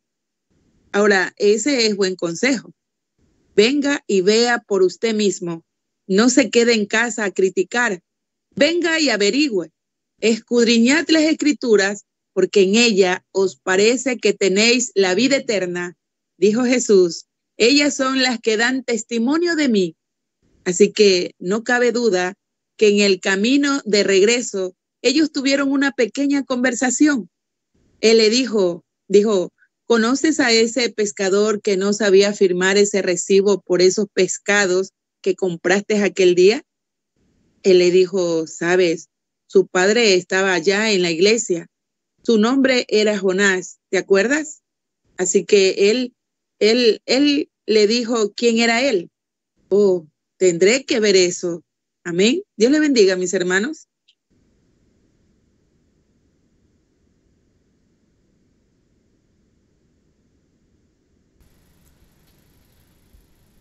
Continuamos compartiendo este glorioso mensaje titulado Cambia Dios su modo de pensar, servicio realizado en Los Ángeles, California, Estados Unidos, día 27 de abril del año 1965. A continuación, hermana Erika, por favor, en los párrafos 58 al 67. Dios le bendiga, hermanos, hermanas. Continuamos con el mensaje, cambia Dios su modo de pensar. Párrafo 58. Sí, cuando él se acercó y quizás estaba en la línea de oración donde estaba Jesús, yo no sé, él, él había llegado a la presencia de Jesús. Jesús lo miró y le dijo, he aquí un israelita en quien no hay engaño. Ahora, en primer lugar, usted dirá, ¿cómo sabía él que él era israelita? Bueno, ¿acaso sería porque él estaba vestido? No, no. Todos los orientales usan esos turbantes, ellos visten igual. Y dijo, un israelita. Y él dijo, en quién no hay engaño. Él podía haber sido un criminal o algo. Entonces hubiera quedado a lo cubierto. Él dijo, en cual no hay engaño. Es como que le quitó el almidón a Natanael. Entonces él dijo, Rabí, ¿cuándo me conociste? Pues yo, yo no entiendo esto. ¿Cuándo me conociste? Yo no te conocí a ti. Solo fui traído aquí por Felipe. ¿Cuándo lo supiste? Él dijo, antes de que estuvieras debajo de la higuera, mientras estabas allí orando, te vi. ¿Sí? ¿Ven ustedes? Él dijo, Rabí, tú eres el Hijo de Dios, tú eres el Rey de Israel. Jesús le dijo, porque te dije esto, creíste, entonces verás mayores que estas. 59. Ahora, a aquellos parados allí, permítanme darles una pequeña advertencia. Había aquellos parados allí, rabinos, sacerdotes, y ellos dijeron, este hombre hace esto por Belzebú. Jesús le volteó y dijo, yo les perdonaré por eso, pues la expiación no había sido hecha. Pero algún día el Espíritu Santo vendrá y hará a mis a mismas cosas, dijo él, a hablar una palabra contra eso, jamás les será perdonado en este ciclo ni en el ciclo venidero. Pensemos a la mujer, pasemos a la mujer junto al pozo, los samaritanos. 60. Ahora, había tres razas de gente sobre la tierra. Pudiéramos ser negros, trigueños, amarillos, lo que fuera, pero venimos de una sola sangre. Y hay tres razas que provinieron del pueblo de Ham, Sem, Jafet. Y esos son judíos, gentiles, samaritanos, mitad judío y gentil. Ahora nosotros los gentiles, anglosajones, éramos paganos adorando ídolos. Nosotros estábamos esperando, nosotros no estábamos esperando algún Mesías. Así que cuando Jesús se manifestó como hijo del hombre, escuchen atentamente y terminaré. Cuando Jesús vino, él estaba en la obligación de representar lo que había dicho el profeta que él sería. Así que allí delante de Israel se representó a sí mismo, delante Pedro y Natanael y aquellos allí, como hijo del hombre. 61. Ahora, él tiene necesidad de pasar por Samaria y va a Samaria y ahí encontró una mujer sentada junto al pozo. Conocemos el relato y a medida que ella, ellos hablaron juntos, ella vino a buscar agua. Él dijo, tráeme de beber. Ella dijo, mira, aquí hay segregación, no podemos permitir esto. No soy una mujer de Samaria y tú eres un judío. Perdón, repito, yo soy una mujer de Samaria y tú eres un judío. Nosotros no tenemos. Él dijo, pero si supieras con quién estás hablando, tú me pedirías a mí de beber. Ella dijo, bueno, el pozo es profundo. ¿Con qué vas a sacar? La conversación siguió hasta que él hizo contacto con su espíritu. Cuando él hizo contacto con su espíritu, descubrió cuál era su problema. ¿Cuántos saben eso? La congregación dice amén. Ahora, ¿cuántos de ustedes, los nuevos, saben que esa es la verdad? Amén. Correcto. Eso fue cierto. ¿Qué dijo él? Ve, llama a tu marido y ven acá. Ella dijo, no tengo marido. Él dijo, bien has dicho, pues cinco maridos has tenido y con el que vives no es tu marido. Ella se volvió. Ahora, ella no era como aquellos sacerdotes que dijeron, él tiene demonio, él es un adivino o algo así. Ella se volvió y dijo, Señor, parece que eres profeta. Ahora, no hemos tenido uno por 400 años. La iglesia no ha estado acostumbrada a tal cosa como esta, pero percibimos, me parece que eres un profeta. Ahora, yo sé que estamos esperando al Mesías y cuando el Mesías venga, eso es lo que Él hará. Ahora, la Biblia dice que Él es el mismo ayer y hoy y por los siglos. Si esa fue la señal ungida del Mesías ya para los americanos y para los judíos, ahora eso nunca había sido hecho delante de gentiles.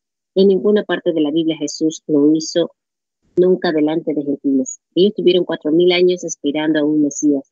Nosotros hemos tenido dos mil años con su entrenamiento también para esperar a un Mesías. Ahora, si esa fue su identificación antes de que el día de ellos se terminara, tiene que ser nuestra identificación porque él prometió que el Hijo del Hombre se revelaría a sí mismo otra vez en el día, cuando el mundo se volviera nuevamente como Sodoma. Cualquiera sabe que estamos allí. ¿Ven? 63. Ahora yo creo que Jesucristo cumple cada palabra. Toda la escritura es inspirada. Yo no creo que tengamos derecho y seremos condenados por eso. Si le añadimos una palabra o le quitamos una palabra. Apocalipsis 22 lo dice. Yo creo que Él es el mismo ayer y hoy por. Ciertamente honró a los luteranos por su posición en su día, y a los metodistas en su día, y a los pentecostales por su posición en su día. Pero estamos viviendo en otro día, estamos viviendo cuando ha habido el tallo por la cáscara, casi como el trigo, pero el trigo está dentro de la cáscara. La cáscara simplemente ha sostenido el trigo, ha impedido que el sol caliente lo, lo queme, pero ahora la denominación se está separando de él, de manera que puede permanecer en la presencia del Hijo para madurar. Así que estamos, estamos en, no se levantarán más organizaciones. Este es el fin de ellos. Siempre hemos tenido como tres años. Cuando comience un mensaje, ellos lo organizan. Esto ha estado, esto ha estado marchando por casi 20 años y nada de organización. No puede. Estamos en un tiempo de trigo, un tiempo de cosecha. Puede Puedo oír la gran cosechadora viniendo. Un día vamos a irnos a casa. Él es el mismo ayer y hoy por los siglos. 64. Ahora, yo no soy él, pero yo soy su siervo. Yo no creo que uno le imponga las manos a la gente y le dé dones. Los dones y llamamientos son sin arrepentimiento. Ellos son predestinados de Dios para enfrentar la edad y el tiempo de esa edad. Cualquier estudiante de la Biblia sabe que es la verdad. Moisés nació justo a tiempo, Jeremías a, tiempo, todos los demás, Juan el Bautista a tiempo, Jesús llegó a tiempo y nosotros hemos llegado a tiempo. Esto es lo que debemos, lo que debe suceder. Ahora, yo afirmo que Él está vivo hoy y su espíritu. Después de las edades de la iglesia, estamos en la edad de la iglesia de la Odisea, el último llamado y la peor de todas ellas, porque Él fue echado fuera de la iglesia. Recuerden, hijo de hombre, y Él fue echado fuera de la iglesia, no una organización de una, de una organización, sino una persona fuera de una organización. ¿Ven? Ninguna de las otras edades de las iglesias tuvieron eso, solo la de la Odisea. Si ustedes son espirituales, entenderán. 65. Nuestro Padre Celestial, yo ya he testificado fielmente de ti. Ahora, si esto es verdad, lo cual sé que es, Señor, yo creo que es verdad. Testifica tú que yo he dicho la verdad en el nombre de Jesucristo. Amén. Voy a pedirles algo solo por un momento. Yo no iba a tener discernimiento en la línea porque pensé que todos ustedes habían estado en mi ministerio, pero por causa de estas personas que están aquí, algunos de ustedes, allí pónganse en ahora y permitan que alguien allí en la línea o algo, y ahora si Jesucristo quiere usar a este ser humano, no funcionará sin ustedes, son ustedes quienes, lo hacen. Ahora escuchen, cierto día una mujer tocó su vestidura y él se le dio la vuelta y preguntó, ¿quién me tocó? Todos ellos dijeron, pues tú pareces, o, Pedro dijo, pues toda la multitud te está tocando. Él dijo, pero percibo que me ha debilitado o virtud ha salido de mí, virtud es fuerza. Y dijo, percibo que me, que me he debilitado. Entonces él miró, él miró alrededor sobre la mujer hasta que la halló y le habló acerca de su flujo de sangre y que ella, él dijo, tu fe te ha salvado. Muy bien. Ahora él es el mismo ayer y hoy por los siglos y el Nuevo Testamento. El libro de Hebreo dice, ahora, mismo es el, él es el mismo sumo pontífice haciendo intercesiones por ustedes, que puede compadecerse de sus debilidades. Ahora aquí, en esa, esa es una de las pacientes aquí, venga. Entonces dice, ahora para la audiencia yo no hago esto como exhibición, amigos. Dejen de pensar eso, recuerden, yo calco sus pensamientos. ¿Cuántos saben de que eso es cierto y lo ven. La congregación dice amén. Aquí está una mujer que yo nunca había visto. Yo no sé una sola cosa acerca de la mujer. Probablemente nacimos millas separadas el uno del otro y años separados y aquí estamos paradas en esta noche. Somos desconocidos el uno al otro. Yo no la conozco a usted, ahora no tengo idea. Aquí, aquí está, aquí está San Juan 4 nuevamente un hombre se encuentra con una mujer. Ahora, yo no soy Jesús y ella no es esa mujer, pero esto es similar. Y él dijo, las obras que yo hago vosotros también las sabéis. Ahora, yo no sé, se requiere la fe de esta mujer para hacerlo. Yo no sé nada acerca de ella, pero si yo les digo lo que es la verdad, entonces Dios está obligado a hacerlo. Decir que esto es correcto. Ahora, sin conectarla, si el Dios del cielo yo, he dicho la verdad. Creo, ¿Cree usted que lo que yo dije en cuanto a eso es la verdad? ¿Acepta usted que eso es verdad? Mi hermana dice, yo lo creo. ¿Cree usted eso? Yo no me pararía aquí delante de esta Biblia y trataría de engañar a alguien. Un hombre de mi edad y saber que tengo que pararme con Dios allá en el tribunal del juicio. Algún día tenemos que pararnos allá. Sabemos eso. Ahora, si Dios puede revelarme algo en su vida que usted sabe que yo no sé nada al respecto porque no la conozco, si algo tendría que ser algo en su vida, yo no sabría nada al respecto. Eso tendría que venir de un poder sobrenatural entonces dependería de usted, lo que usted pensara que fuese el poder. 67. Y ahora, con ustedes los recién llegados, ahora me Aguanto la mano. Ahora, por favor, no caminen alrededor en estos momentos porque, ven, cada uno de ustedes son, un espíritu. Cuando me volteo, uno siente como un jalón de todos lados. Vean, ustedes, ustedes son seres humanos y tienen espíritu.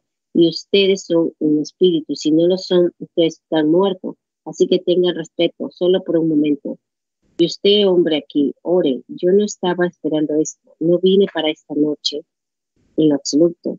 Yo vine solo para orar por los enfermos, pero eso es para los recién llegados. Dios le bendiga, hermanos y hermanas.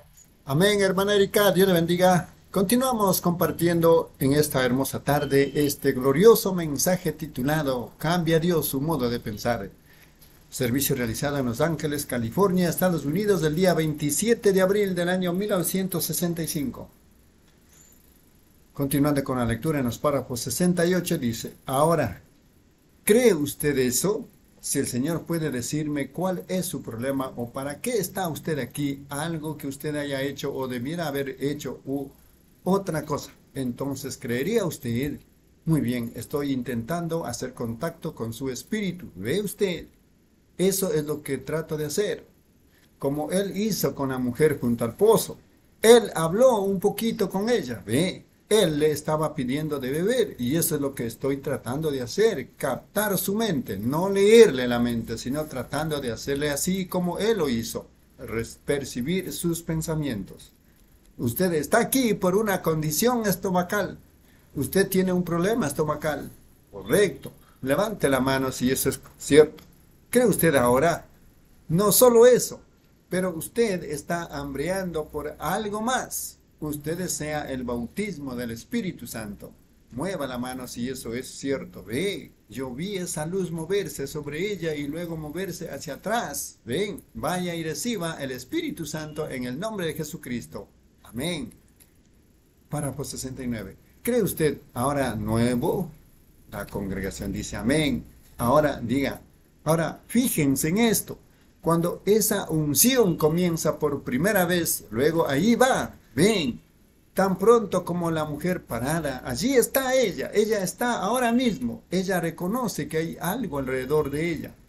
¿Cuántos alguna vez han visto la fotografía de esa columna de fuego, esa luz allí, en Washington DC? Ven, ahora yo desearía, es como otra dimensión, la estoy mirando ahora mismo. Allí está suspendida, aquí junto a la mujer. La estoy mirando ahora mismo. Ahora, yo soy un completo desconocido para ella. No la conozco y dudo mucho de ella me conozca a mí solamente por estar en la reunión. Eso es todo. Pero si Dios puede decirme algo acerca de usted o algo así como hace un rato, ¿creería usted que soy su profeta, su siervo? ¿Creería usted eso con todo su corazón? Bien que Él lo conceda. Usted está, usted está esperando una operación y esa operación tiene que ver con su mano. No hay lugares en ellas, pero es una condición de los nervios en su mano. Eso fue causado por un accidente y va a ser operada. Crea y usted no tendrá que ser operada si tan solo cree de todo corazón. Párrafo 70. Solo tenga fe ahora, no dude, solo crea. Ahora aquí permitan que es otra mujer porque ella está en una condición crítica. ¿Ven esa sombra negra? ¿Cuántos han visto alguna vez la fotografía que fue tomada de la sombra negra de muerte? Está colgando sobre la mujer ahora mismo. Si Dios no lo ayuda, ella no puede vivir. Ella tiene un tumor. La hermana dice, sí, y el tumor está en el cerebro. Sí, Amado Dios, si tú estás tan presente ahora que conoces todas estas cosas, yo te ruego, Dios querido, que sanas a nuestra hermana. Permítele vivir, Padre, para tu gloria. Lo pido en el nombre de Jesucristo. Amén. Párrafo 71. ¿Cómo está usted? Usted es una persona muy agradable. Si mi madre viviera, me supongo que tendría más o menos la edad suya. Ella está en la gloria en esta noche. Ella siempre oraba por mí cuando yo salía para las reuniones. Yo le dije al Señor, la hermana dice, yo tengo 85. Señora, tengo 85. 85 años de edad. Dios le bendiga, hermana. Ahora, supongo que soy un completo desconocido para usted. Tenemos años de diferencia en nuestra edad. Y yo no la conozco a usted. Nunca la había visto. Simplemente somos dos personas que se encontraron aquí en la tierra, pero usted es cristiana, usted es creyente. La razón por la que sé eso es debido al sentir de su espíritu. Usted, usted me ha dado la bienvenida, ven, y yo sí creo que sea el Espíritu Santo porque muestra las obras y las acciones del Espíritu Santo. Ven, y yo sé que es Él. Sé que esto de lo que hablamos es cierto. Ahora, yo sé que es la verdad. 72. Ahora, yo no sé qué es lo que estaría mal, pero si el Señor Jesús me revelara lo que está mal con usted, usted sabría si fuera correcto o no, o si me dijera algo que usted ha hecho o que no debiera haber hecho. ¿Creería usted que sería ese mismo Señor Jesús, el mismo Dios que pudo decirle a Felipe dónde estaba él? Decirle a Simón cuál era su nombre. ¿Cree usted que él es el mismo? Su problema es un problema del intestino. La hermana dice exacto. Eso es exacto. ¿No es correcto eso? Sí, señor. ¿Usted cree ahora que yo soy su profeta? Su nombre es señora Bayer. Señora Bayer, como aspirina Bayer. Correcto. Usted es sanada. Siga adelante. Jesucristo la sana. Dios le bendiga. ¿Cree usted de todo corazón? Ahora si tan solo tienen fe, no duden.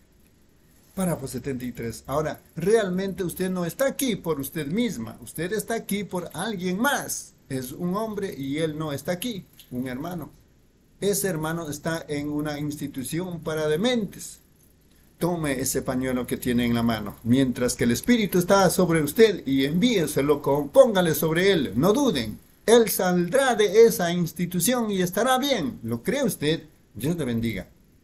Usted dice que usted dijo, aquel ángel allá en el último día, él tenía su espalda volteada. Bueno, usted mira, no miraré a esta mujer, voltearé mi espalda. Ahora, señora, lo que está con el paciente, si puede oírme, diga sí. La hermana dice sí. Si el Señor Jesús me revela cuál es su problema mientras que estoy mirando hacia acá, usted sabrá si es verdad o no. ¿Es correcto eso? ¿Cree usted entonces que esto es para cumplir lo que dijo Jesús? Que sería hecho en los últimos días, como fue en los días de Sodoma, ¿Lo creerá usted? Usted tiene un desorden de mujeres, un problema femenino. Crea con todo su corazón ahora que se irá y usted puede irse a casa y estar bien. Dios le bendiga. Si tan solo puedes creer. Párrafo 74. ¿Cree usted que Dios sanará ese problema del corazón? Bueno, solo siga caminando diciendo, gracias Señor, crea. En la mañana cuando se levanta, usted casi no puede moverse. La artritis de una cosa mala. Pero Jesucristo es el sanador de la artritis. ¿Cree usted eso? Usted baja de una calzada, de lado, andando. La veo haciendo eso. Y ya no tendrá que hacer eso, si cree. ¿Cree usted que yo fui enviado para este propósito? La hermana dice, sí. Entonces, en el nombre de Jesucristo, que eso la deje. Amén. Usted tiene problema estomacal. ¿Cree usted que Dios le la dejará irse a casa, comer su cena y sentirse bien al respecto, siga su camino, cómase su cena, crea y se sentirá bien. Usted tiene una debilidad que viene sobre usted, correcto, debido a que su corazón está mal. Eso es correcto, ya no lo tiene más. Vaya y créalo. Que si yo no le dijera una palabra a usted y solo le impusiera las manos, usted también me creería que se pondría bien. Venga acá. Amado Padre Celestial, te ruego que sanes a esta mujer y hagas que esté bien en el nombre de Jesucristo. Amén. Párrafo 75. ¿Cuántas personas aquí creen? ¿Cuántos de ustedes, los nuevos, todos ustedes? Solo piensen, y ya casi no puedo ver a la gente pasando. Recuerden, una visión hizo que el Señor Jesús se debilitara. ¿Cuántos saben eso? Una mujer le tocó. Daniel vio una visión y fue, fue turbado en su mente, su cabeza, por varios días. ¿Cuántos saben eso? La congregación dice amén. Ven, muy bien. ¿Cuántos de ustedes creen eso? Que esto es del Espíritu Santo. Lo creen de todo su... Ahora, yo no... El Espíritu Santo. Ahora, aquí hay hombres sentados aquí que también creen eso. Ahora, algunos unos más de ustedes que tengan esas tarjetas de oración, quiero que todos los que van a estar en esta línea de oración, pónganse de pie por un momento. Párrafo 76. Miren, quiero hacerles una pregunta solemne. ¿Han confesado todos sus pecados los que están allí? ¿Creen ustedes? ¿Han confesado y ustedes? ¿Ustedes creen que van a ser sanados? ¿Han confesado todos sus pecados y enmendado todos sus errores? Levanten sus manos y lo han hecho ante Dios. Crean eso. Y ahora con sus manos en alto, También creen ustedes que se requiere del Espíritu Santo y que este es el Espíritu Santo que se está vindicando a sí mismo entre ustedes. ¿Creen eso de todo corazón? La congregación dice amén. ¿Lo creen? Entonces cada uno de ustedes puede ser sanado. Ahora también ustedes, fe y confianza en estos ministros que están sentados aquí. ¿Creen ustedes también en esos hombres? ¿Qué les parece si oramos por cada uno de ustedes y luego los vamos pasando imponiéndoles las manos? Esto me debilita mucho. Si continuara de esa manera, eso, eso me mataría. Y después de aquí voy para Sudáfrica. Por, oh hermano, ustedes, ustedes saben cómo es allá donde uno ni siquiera puede hablarle a la gente. Y habrá, esperemos tener al menos tres mil o en una sola reunión. Así que solamente crean. Ustedes están aquí en Estados Unidos, ustedes lo han visto vez tras vez. Párrafo 77 por último. Amado Dios, estas personas están necesitadas. Yo no sé más nada que tú pudieras hacer, Padre, para probarles por tu palabra que tú eres el Dios inmutable. Yo creo que nosotros hemos visto tantas cosas grandes, Señor, y comido de tu mesa con un maravilloso y exquisito alimento eterno de vida hasta que el punto, hasta el punto que nos hemos, nos hemos acostumbrado demasiado a ello. Se vuelve algún, algo común, Señor. Nosotros no, nosotros no lo abordamos de la manera correcta. Cuando vemos, aún pienso en mí mismo parado aquí. Yo debería estar de rodillas sabiendo que aquí mismo ese espíritu que lo levantó a él de los muertos está parado aquí mismo. El espíritu que estuvo sobre él cuando él estuvo viviendo aquí en la tierra está aquí ahora mismo. Y nosotros, pobres e indignos pecadores, por medio de su gracia y misericordia, Él compró nuestras vidas y aquí estamos hoy, continuando su obra. Las obras que yo hago, vosotros también las haréis, prometiendo estas cosas y probándolas aquí en este mundo. Señor, yo estoy muy agradecido de ti, que pudiera ser contado parte de tu pueblo en este último día. Dios amado, estas personas están de pie. Ellos están enfermos, Padre. Yo no tengo manera de sanarlos. Y tú tampoco ahora. Ya tú lo has sanado.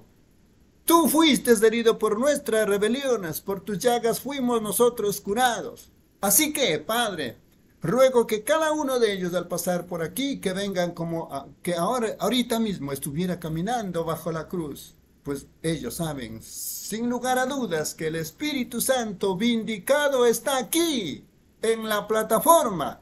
El Cristo de Dios está aquí en la reunión. Perdona todo pecado Quita toda incredulidad y que cada uno de ellos sea sanado a medida que pasen por esta línea. Te lo pido en el nombre de Jesucristo. Amén. Amén, mis amados hermanos y hermanas. Recordando una vez más, estamos lecturando en esta tarde este glorioso mensaje titulado Cambia Dios su modo de pensar. Servicio realizado en Los Ángeles, California, Estados Unidos, día 27 de abril del año 1965. Ya concluyendo con la lectura, hermana Reina, por favor, en los párrafos 78 al 84. Amén. Dios le bendiga, mis hermanos. Continuamos con la lectura del mensaje. Cambia Dios su modo de pensar. Párrafo 78. Un hermano dice, hermano Branham, si podemos hacer que todos se sienten y tomar una sección a la vez, de esa manera no se aglomerarán. Sí, muy bien. Ahora quiero pedirles algo. ¿Quieren ustedes, mis hermanos, pararse aquí conmigo? Vean, aquí hay una cosa al respecto. Muchos evangelistas entran a una ciudad y se encargan de toda la oración por los enfermos y todo lo demás. Y la congregación, cuando él se va, la, la única la única mente es edificada en torno al evangelista. ¿Ven? Eso no es así, amigos. Estos hombres dudo que cualquiera en esta edad, sé que hay mucha personificación, pero no diré lo que iba a decir. Pero estos hombres quizás no hagan eso. Es cierto, y yo lo dudo mucho. Pero ellos han sido tan ordenados por Dios para poner las manos sobre los enfermos, como yo o cualquier otro. Dios igualmente respondería a la oración de ellos, como lo haría con cualquier otra oración que hubiere. Jesús ha comisionado. Estas señales no dijo que le seguirían a William Branham o ahora al Robert y así sucesivamente. Le seguirán a los que creen. Y estos hombres están llenos del Espíritu de Dios. Ellos son personas bautizadas con el mismo Espíritu Santo. Ese Espíritu estuvo aquí haciendo esa obra hace unos momentos. Él aún está aquí. Él está en cada uno de estos hombres, ¿ven? Y todos ellos están llenos de ello. Así que les voy a pedir que formen una línea doble por aquí, al lado de esta fila aquí, por favor, para que así puedan también poner las manos sobre los enfermos mientras ellos van pasando. 79. Y ellos quieren que aquellos que tengan tarjetas de oración se pongan de pie, solo los que tengan tarjetas de oración, para que se paren allí en el pasillo. Y los demás oren por unos minutos. Pónganse de pie en cada sección. Párense a la izquierda de su sección. Párense ahí en su sección y luego ellos los llamarán. Cuando vean que esta línea aquí esté terminando, que esta otra línea se meta rápidamente en ella. Cuando esta línea termine entre esta. Y cuando pasen, recuerden, ustedes simplemente estarán dando un paseo a menos que estén creyendo. ¿Cuántos de ustedes saben, sienten en su corazón que ustedes han orado cabalmente por esto y que van a ser sanados tan pronto pasen por esta línea? Levanten la mano y digan, Cristo, yo lo acepto ahora mismo, solo porque tú ordenaste estas cosas. 80.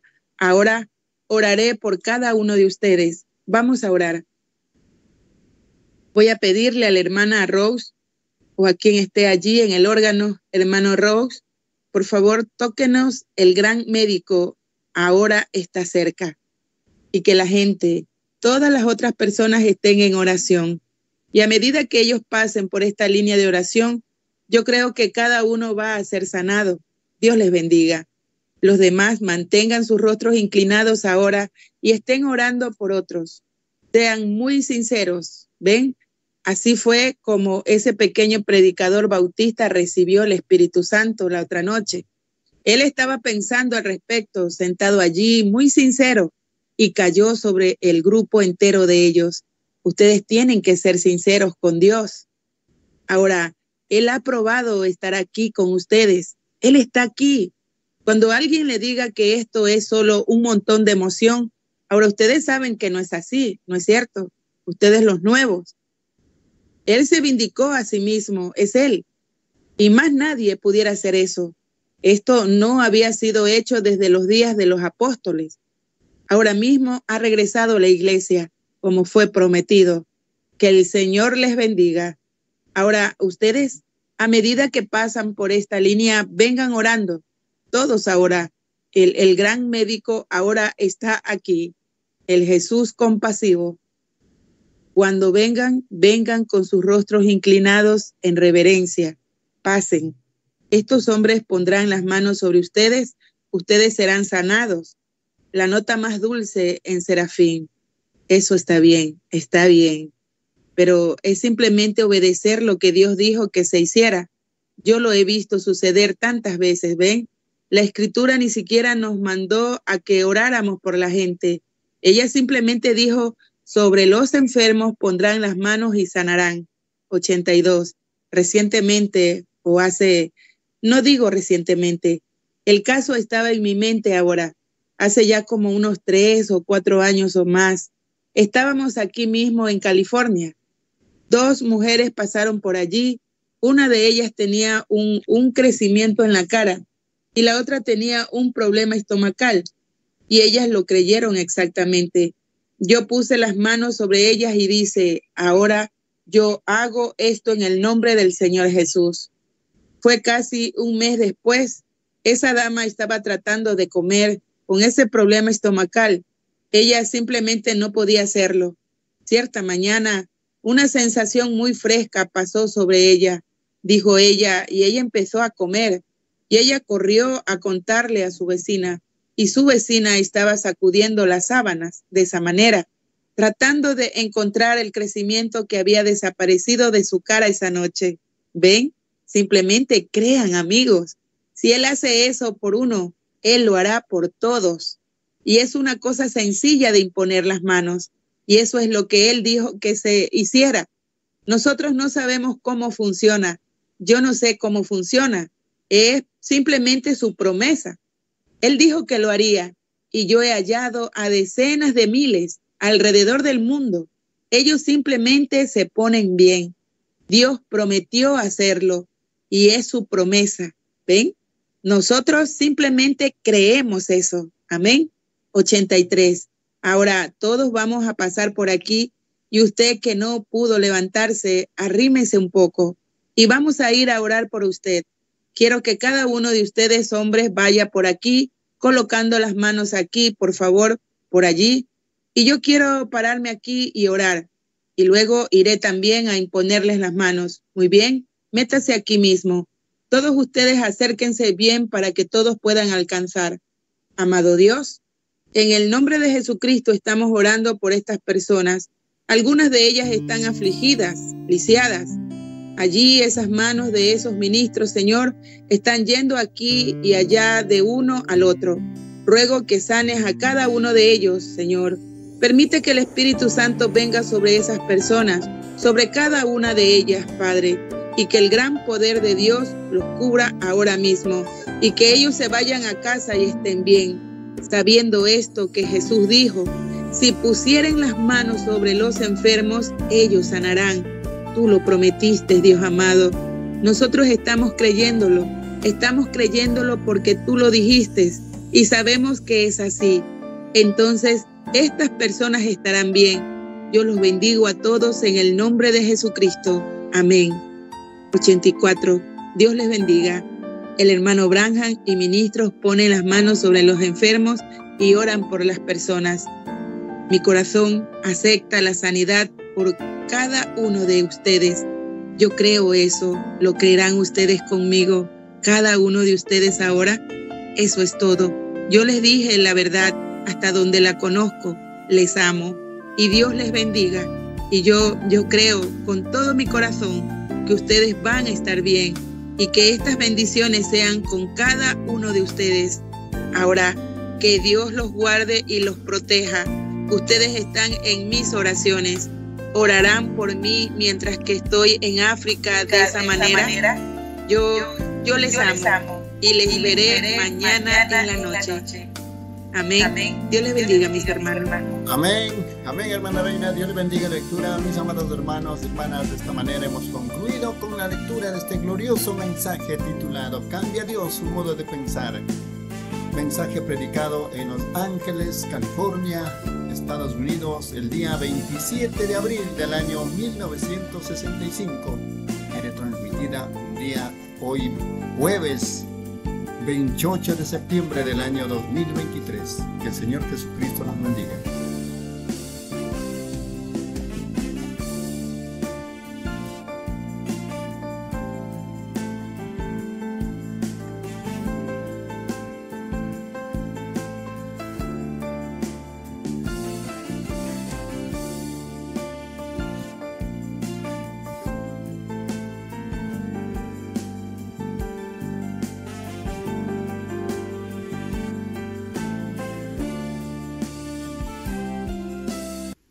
Amén, mis amados hermanos y hermanas, vamos a aprovechar el tiempo y vamos a continuar compartiendo en esta tarde y noche los gloriosos mensajes de nuestro profeta Elías que estaba guardado y escondido para sabios y entendidos, pero fue revelado para pequeñitos que quieren aprender. Eso fue Apocalipsis 17. Y siguiendo en el orden cronológico de la lectura de los mensajes, nuestro siguiente mensaje a ser lecturado en esta tarde y noche se titula La simiente no heredará con el forro. Servicio realizado también en Los Ángeles, California, Estados Unidos, el día 29 de abril del año 1965. Iniciamos la lectura mucha honra. Hermana Erika, por favor, en los párrafos 1 al 10. Dios le bendiga, hermanos y hermanas. Vamos a lectura este nuevo mensaje. La simiente no heredará, perdón, no heredará con el forro. Del año 65 04 29. Párrafo 1. Muchas gracias, hermanos Demo. Estamos contentos de estar aquí esta mañana y de escuchar todos estos buenos testimonios de estas personas tan finas. Y ahora confiemos que Dios continúe estando con nosotros y nos bendiga. Ahora, esta noche tengo entendido de que debo hablar esta noche, si el Señor lo permite. Y le pregunté a la hermana Shakaria hace unos instantes, dije, bueno, no tenga pena. Sé que tenemos que salir de aquí a las 11, pero es que yo yo simplemente pierdo toda la noción del tiempo cuando subo aquí. Parece como que a todos los demás, los demás les sucede eso. Sentimos, ellos dicen, dos minutos, tres minutos, oh, hermanos Smith, usted sabe, es difícil hacer eso en dos o tres minutos, sé cómo es y me compadezco de cada uno, pero estamos en una edad de tiempo donde estamos, vamos hacia la eternidad, pero ahorita estamos en el tiempo y dije, hermano Demos, no, no tenga pena, un poco antes de la hora, solo jáleme del abrigo y sabré que es hora de terminar. Ahora, si no logro terminar, lo haré esta noche. Y si termino, bueno, tengo otro tema para esta noche. Dos. Ahora, antes de que hablamos del libro, hablemos con el actor con nuestros rostros inclinados. Ahora, Padre Celestial, te damos gracias en esta mañana por esta reunión, por lo que ya hemos escuchado. Si tan solo pidiéramos la bendición ahora, Señor, sentiríamos que ha sido bueno estar aquí. Así que te pedimos que continúes y fuera grato delante de tus ojos y continúes estando con nosotros y, ayuda, y ayúdanos. Nos reunimos ahora alrededor de la palabra, así como nos hemos reunido alrededor del compañerismo del uno con el otro escuchando los testimonios de lo que tú has hecho por nosotros. Permítenos ahora ir a la palabra para hallar de dónde viene todo esto. Eso entonces será una confirmación de lo que estamos sintiendo y viendo, aconteciendo hoy. Concede estas cosas en el nombre de Jesucristo. Amén. Tres. Ahora, como su siervo, yo estoy obligado a un mensaje y a veces he sido muy malentendido en tiempos pasados y tal vez siempre lo sé, pero no digo cosas a veces para ser diferente. Digo para ser honesto y a mí me gusta decir lo que pienso es que es correcto. Todo el mundo tiene un derecho a esas cosas, de expresar su propia opinión. Es por eso que estoy entre ustedes. Y el hermano Shekaren hablando con respecto a las tarjetas de oración, en las líneas de oración, de ver que el Espíritu Santo ahora, él no dijo eso acerca de mí, eso fue acerca del Espíritu Santo, porque yo no podría hacer esas cosas. Cualquiera sabe que yo no podría hacerlo, pero, pero ese es el lado menor. Lo que ustedes ven aquí, ustedes deberían estar allá en otros lugares y ver cómo él preside cosas. Y yo, cosas que acontecen, es, estas son simplemente, ustedes, ustedes son los que hacen eso. Ustedes son los que creen en Dios. Cuatro. Y entonces, si usted no cree en Dios, recuerde, Él se lo dice a usted. Aquí mismo la plataforma.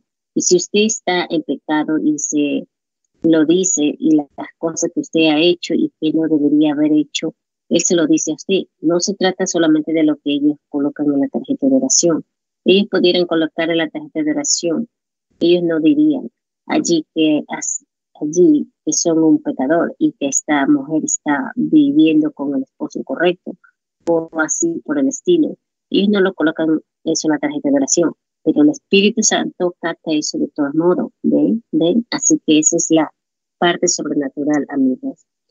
Y digo esto honrosamente porque no, son, no somos muchos aquí en esta mañana, apenas un grupito. Eso me asombra, me pone tan nervioso que a veces siento ganas de gritar. Y cuando me siento en, alguna, en algún lugar o alguna de la montaña donde paso mucho tiempo allí recibiendo de Dios, Luego bajo y le entrego al pueblo lo que él me dio. Yo no quiero ser diferente a las personas, pero sin embargo, para ser sincero, yo tengo que ser sincero con Dios, ¿ve? Para con un mensaje. Cinco. Ahora, si el Señor lo permite, estamos a punto de salir enseguida en una gira para el exterior, dentro de pocos días. Si esa fuera la voluntad del Señor, ciertamente solicito sus oraciones. Ustedes son agradables. Empiezo a hablar y me olvido totalmente de la hora, como el resto de nosotros. Pero para el hermano Shakaren, estos fines ministros aquí en la plataforma y allí, todos ustedes amigos de Jesucristo, yo les saludo en su nombre. como un pariente de ustedes por la cruz para Dios, siendo hermanos y hermanas. Quiero abrir esta mañana en la escritura, en el libro de Gálatas. Si el Señor lo permite, deseo, leer una escritura. Sí. Ahora, anoche escuchamos el mensaje que salió de nuestro hermano ministro aquí en la plataforma. Él habló en lengua. Bredesen, el hermano Bredesen, un, un hombre muy fino. Yo, ver esto con mi ignorancia y mi educación, mi falta de entendimiento de palabras, y luego saber que el mensaje es verdad y ver a hombres así como el que estaba en aquel panel la otra noche de pie allí y que puede enfrentar a esas clases intelectuales, tal vez ellos no puedan hacer lo que el Señor me llamó a mí hacer. Yo no puedo hacer lo que el Señor los llamó a ellos a hacer, pero trabajando juntos estoy seguro de que, que entregar el mensaje si tan solo permanecemos delante de Dios cuando él dio un testimonio aquí anoche y el Espíritu Santo habló en lengua y alguien en la audiencia, yo siempre he sabido reverencia eso, porque entiendo por la Biblia que eso es el Espíritu de Dios trayéndonos algo. Él dijo, hablo de la lluvia tardía, lluvia temprana y lluvia tardía. Y eso me pone a pensar, siete, el hermano Ponja acababa de darme un pequeño paquete con unos cheques que en él dijo, esta es una ofrenda de amor para la, de parte del pueblo. Ahora, ellos no deberían hacer eso, no debería haber hecho eso. Vean, yo no vine aquí con ese propósito, pero yo, ellos me lo dieron y desde luego no habría, no hay manera de, devolverlo. Voy a tomarlo, si el Señor lo permite, y trataré de usarlo en mis gastos al ir al extranjero porque para donde voy a ir no me están patrocinando. Ese es como un secreto, debido a que las iglesias no quieren dejarme entrar. Voy a ir como cazador, porque es por causa del Señor. El Señor me ha puesto en mi corazón hacerlo y tengo que entrar como disfrazado, ¿ven? Porque ellos tienen una idea rara allí, que cada uno quiere que yo firme una tarjeta de que estoy de acuerdo con ellos en lo que ellos creen y que diga que este otro grupo está errado y este grupo dice que ellos me llevarán para allá. Digo que este grupo está errado, ¿ven? Pero a mí me gusta eso. Vean, nosotros somos, yo siempre he procurado pararme entre la gente, fuera de las organizaciones y sus diferencias, y llamar a lo que pareciera. Como estaba diciendo el, el Espíritu de Dios a través de los hermanos aquí esta mañana, de que nosotros no somos una denominación, nosotros somos hijos de una familia. Ahora, no existe ninguna denominación Branham, existe una familia Branham y todos nos y todos nos unimos a esa familia, sino que nacemos en esa familia. Repito, perdón. Y no todos nos unimos a esa familia, sino que nacimos, nacemos en esa familia. Y así que yo, eso es lo que estoy tratando de representar, lo mejor que sé, párrafo 8.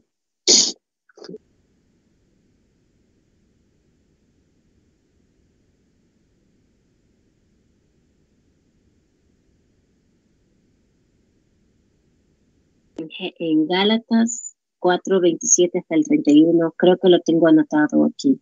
Me gustaría leer esto como texto, porque, porque está escrito, regocíjate, oh estéril, tú que no das, no das a luz prorrumpe en júbilo y clama, tú que no tienes dolores de parte, porque más son los hijos de la desolada que la que tiene marido. Así que, hermanos, nosotros como Isaac somos hijos de la promesa, pero como entonces el que había nacido según la carne perseguía al que había nacido según el espíritu, así también ahora. Mas, ¿qué dice la escritura? Echa fuera la esclava y a su hijo, porque no heredará el hijo de la esclava con el hijo de la libra, de la libre. De manera, hermanos, que no, somos hijos de la esclava, sino de la libre. Que el Señor añada sus bendiciones ahora a su preciosa palabra. Tengo unas cuantas. Anoche anotaba unas cuantas cosas y solía ser que cuando solo tenía una reunión por semana en algún lado, yo podía recordar estas escrituras claramente en mi mente.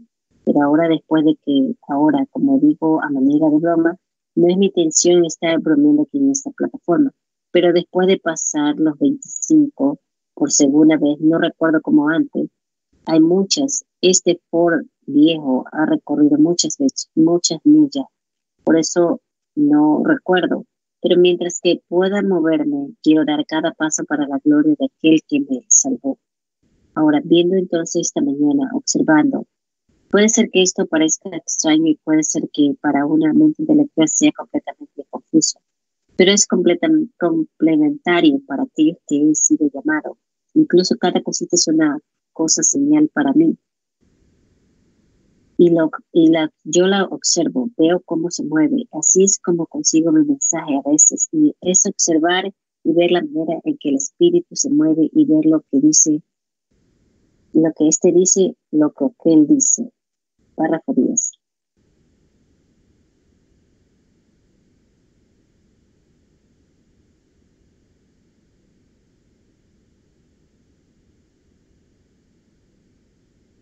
Visto muchas veces antes de un servicio de sanidad, parado allí en la plataforma o sentada atrás, observando. Yo estoy sintiendo el espíritu, la manera en que se está moviendo. Ya sé cuál es el problema con esa persona que está sentada allí. ¿Ven? Lo veo por acá. ¿Ven? Uno puede captarlo incluso antes de que uno vaya a la plataforma. Algunas veces antes de ir a la reunión, a veces incluso antes de venir como aquí eh, a California, me he sentado con los que están conmigo y les digo, habrá una cierta cosa que sucederá, esto ocurrirá aquí y esto estará aquí abajo y pasará por acá, ¿ven? Por causa de que es estar en el Espíritu de Dios. Él es el, Él conoce todas las cosas desde el principio, ¿ven? Y Él es el, y Él es eterno. Amén. Dios le bendiga, hermanos. Amén. Amén, hermana Erika. Dios le bendiga, recordando que hemos iniciado un nuevo mensaje en esta tarde y noche en la lectura y compartiendo. La simiente no heredará con el forro. Servicio realizado en Los Ángeles, California, Estados Unidos, el día 29 de abril del año 1965. En los párrafos 11 dice, y luego, al ver esta mañana al hermano Hewell Royce, un amigo muy precioso y hermano de todos nosotros, cómo es que él se levantó y leyó ese salmo. Fíjense cómo encajó eso cuando él dijo, yo quiero ver qué clase de simiente está colgando en usted. Anoche el Espíritu habló y dijo sobre la lluvia tardía, la lluvia temprana y tardía, ambos siendo derramadas en los últimos días. Y esta mañana, la simiente que está colgando en usted Vean el Espíritu hablando. Vean cómo lo hizo a través de estos ministros y demás esta mañana. Así que por lo tanto voy a tomar este tema. La simiente no heredará con el foro. Ese es un tema muy extraño, pero la simiente no heredará con el foro. Y tomando, sacando mis conclusiones de esto, o mi tema, mejor dicho, de Gálatas 4, 27, 3. Pablo dijo, Pablo aquí desde luego está hablando de la simiente literal de los dos hijos de Abraham. Ahora, esto, quiero usar esto de manera que ustedes se aseguren de no fallar en entenderlo. Y si no me pasa, y si me pasa de la hora, lo continuaré esta noche y quiero enseñar como si fuese una lección de escuela dominical para que ustedes creo yo, tengan un mejor entendimiento. Amén. Párrafo 12. Ahora, y algunos de ustedes son, son hombres más competentes para hacer esto que yo. Bueno, y yo no soy teólogo, de ninguna manera. Así que si usted está en desacuerdo conmigo en cuanto a esto, simplemente siéntase como yo me sentí anoche cuando una querida hermana aquí me hizo un pastel de cereza, estando en mí mi, cuarto del hotel esta mañana, yo, yo encontré una semilla, pero seguí comiendo pastel. Simplemente saqué la semilla, ve usted. Así que eso es, lo que usted no crea al respecto, simplemente déjelo a un lado, ve, y siga comiendo lo que usted considere que es correcto. Párrafo 13. Ahora, Pablo está hablando de los dos hijos de Abraham, lo cual uno de ellos fue con Sara y el otro con, fue con Agar. Ahora encontramos aquí y entendemos a través de las escrituras que Dios nunca es representado en dos. es en tres, siempre en tres. Dios es perfeccionado. La matemática de la Biblia funciona perfectamente. Dios es perfeccionado en tres, adorado en siete y así sucesivamente. Vean, entonces nosotros, nosotros encontramos que la matemática de, la Biblia nunca falla. Y tenemos aquí dos hijos de Abraham. Y sin embargo, solamente podemos ser herederos con herederos una vez que seamos uno de sus hijos o un hijo de Abraham. Pues estando nosotros muertos en Cristo, entonces llegamos a ser simiente de Abraham y somos herederos juntamente con él según la promesa. Por lo tanto, Abraham debe tener otro hijo. Ahora, sabemos que su primer hijo con Agar y encontramos que su segundo hijo fue con, fue con Sara, pero él tuvo un tercer hijo que fue Jesús. Ahora eso puede parecer extraño, pero eso es lo que vamos a, a tratar de explicar. Como dije, Dios se representa a sí mismo, siempre en perfección, en tres. Y he aclarado delante de todos ahora, y especialmente a sus teólogos, que estas cosas son simiente, perdón, son simplemente de la manera que yo lo, veo, de la manera en que eso viene a mí. Amén. Párrafo 14. Como en el principio, Dios, Dios habitaba solo, porque Él era el eterno. Vean, ni siquiera era Dios. Dios es un objeto de adoración.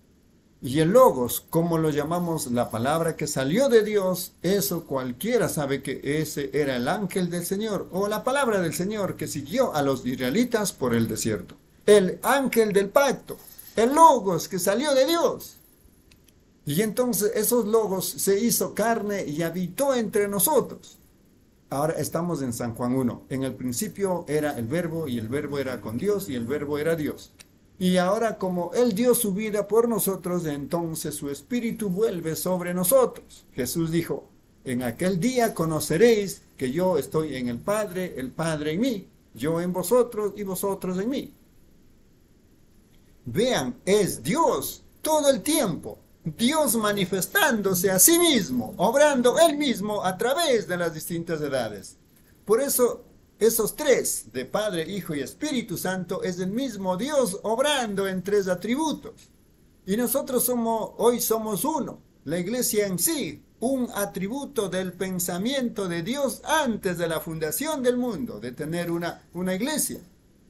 Por eso aquellos que están en Cristo estaban en Cristo en el principio, que eran sus pensamientos, y sus pensamientos son sus atributos. Amén. Párrafo 15. Aquí la simiente comienza en la promesa.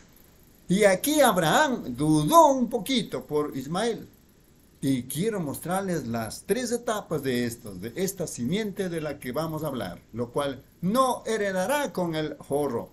Ahora encontramos que en el principio aquí, que Dios le dio la promesa a Abraham. Él le dio la promesa a Adán primero. Y eso fue o el pacto era con condiciones. Si no haces esto, si haces esto. Pero cuando él se la dio a Abraham, fue incondicional. Yo ya le he hecho. Él, él nunca. Lo que él hizo fue incondicional. Él le dio a Abraham. Ahora, y a través de eso, de Abraham tener la promesa, por lo tanto nosotros tenemos que ser simiente de Abraham no fue solamente para Abraham, sino para su simiente después de él. Ahora, si ustedes se fijan, no fue simientes después de él, sino simiente después de él. Aleluya. Ahora, encontramos que la promesa, siendo duda un poquito por Sara, y Sara le dio a Abraham que tomara a esta Agar, la egipcia, la mujer joven, como esposa, y que esa sería la manera en que Dios levantaría esta simiente prometida. 16. Ahora, Vean ustedes, de lo que dije anoche, cualquier movimiento de ese plan original de Dios saca la cosa entera fuera de, la, línea. No podemos movernos de esa palabra original. Tiene que, hablamos sobre eso anoche, o anteanoche, mejor dicho, sobre Balán. Él recibió la respuesta de Dios, directa y clara. No vayas. Pero él tiene una voluntad permisiva. Y usted puede obrar en eso si lo desea y Dios lo honrará, pero aún así no es la voluntad perfecta de Dios. Y es por eso que deberíamos esforzarnos por su voluntad perfecta, no por su voluntad permisiva. El reino de Dios, lo cual Él está en la tierra hoy, será, nunca podrá ser establecido justamente sobre una voluntad permisiva. Tiene que regresar a su voluntad perfecta. Amén párrafo 17. Ahora, vemos aquí que Sara, después de que Dios le había dicho a Abraham que el hijo nacería a través de Sara, que bendeciría al mundo, Sara lo dudó. Y quiero que noten que no llegó a venir a través de Abraham, sino a través de Sara, la hembra. Y ella lo dudó y dijo, toma a Agar.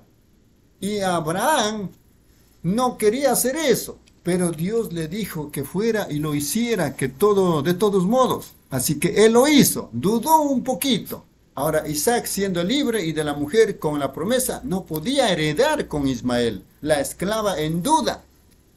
Eso es lo que Pablo estaba tratando de decir aquí. Vean donde una cosa es dudada y trae cierta cosa de Dios, cierta orden de Dios, pero no heredará con la orden original de Dios. ¿Entienden? Vean, no puede heredar. Párrafo 18. Ahora, es por eso que hoy estoy tan fuertemente y pensé que esta sería una buena ocasión, ya que no sé cuánto tiempo más estaremos juntos y tal vez yo pudiese, de alguna manera Dios me ayudaría a mostrarles la razón por la que yo también por la que yo tan firmemente denuncio a la religión organizada. Ven, vean, ella no puede heredar con el plan original de Dios, porque la organización no es de Dios, es del hombre. La primera iglesia que llegó a ser organizada en todo el mundo fue la iglesia católica romana en Nicea, Roma. Apocalipsis 10, 17 dice que ella era una ramera y todas sus hijas eran prostitutas. Y una ramera es una mujer que no vive fiel a su marido y una prostituta es la misma cosa. Pero vean ustedes, de todos modos ella llegó a ser una iglesia. Es un sistema organizado y separa la hermandad. Nosotros tratamos de organizar a todas las iglesias juntas. No funcionará, nunca funcionó, no funcionará, nunca. El Concilio Mundial de Iglesias, ellos están están fuera del programa de Dios. Párrafo 19. Ahora, usted dice, ¿quién es usted? Un individuo que se encuentra allí sin tan siquiera una educación de escuela primaria. Eso no importa nada. La educación no, que fuere no es en base a mi educación que estoy intentando de hablar. Es en base a la palabra de Dios que estoy hablando. Ven, y estas Vindicaciones que ustedes ven en el ministerio no soy yo. Es Dios intentando traer eso a usted que es la verdad. ¿Tendría Dios algo que ver con una mentira? Entonces, lejos de este de mí servir a un Dios que bendiciría una mentira. Es la verdad lo que Él bendice, es la verdad lo que Él honra. Párrafo 20. Ahora, Ismael no podía heredar con Isaac por cuanto uno fue un poquito con duda, apenas dudando un poquito. Era un hijo, aún así era la simiente de Abraham, pero no la manera perfecta de Dios para eso. Ismael, no pudiera quedarme mucho tiempo en este asunto, pero espero que el Espíritu Santo les transmita esto a ustedes de la manera correcta que debería ser. Ahora sí ellos. Si Ismael e Isaac no podían heredar juntos debido a que el plan original de Dios fue sustituido por un, plan permisivo de Dios. Una manera permisiva que Dios sí bendijo. Tampoco puede la iglesia espiritual de hoy heredar con la denominación. Las denominaciones Dios los bendijo, como hizo con Ismael, pero el espiritual no heredará con los otros. Correcto. Habrá saliendo de la iglesia denominada, así llamada iglesia, iglesia natural, saldrá una novia de Cristo, la elegida. Para 21. Ahora, en eso, lo que me preocupa en esta hora es saber que vemos a todas estas denominaciones entrando en esto que sabemos que es lo que llaman lluvia tardía o el derramamiento del Espíritu. ¿Se da usted cuenta que Jesús dijo que cuando eso acontezca sería el fin?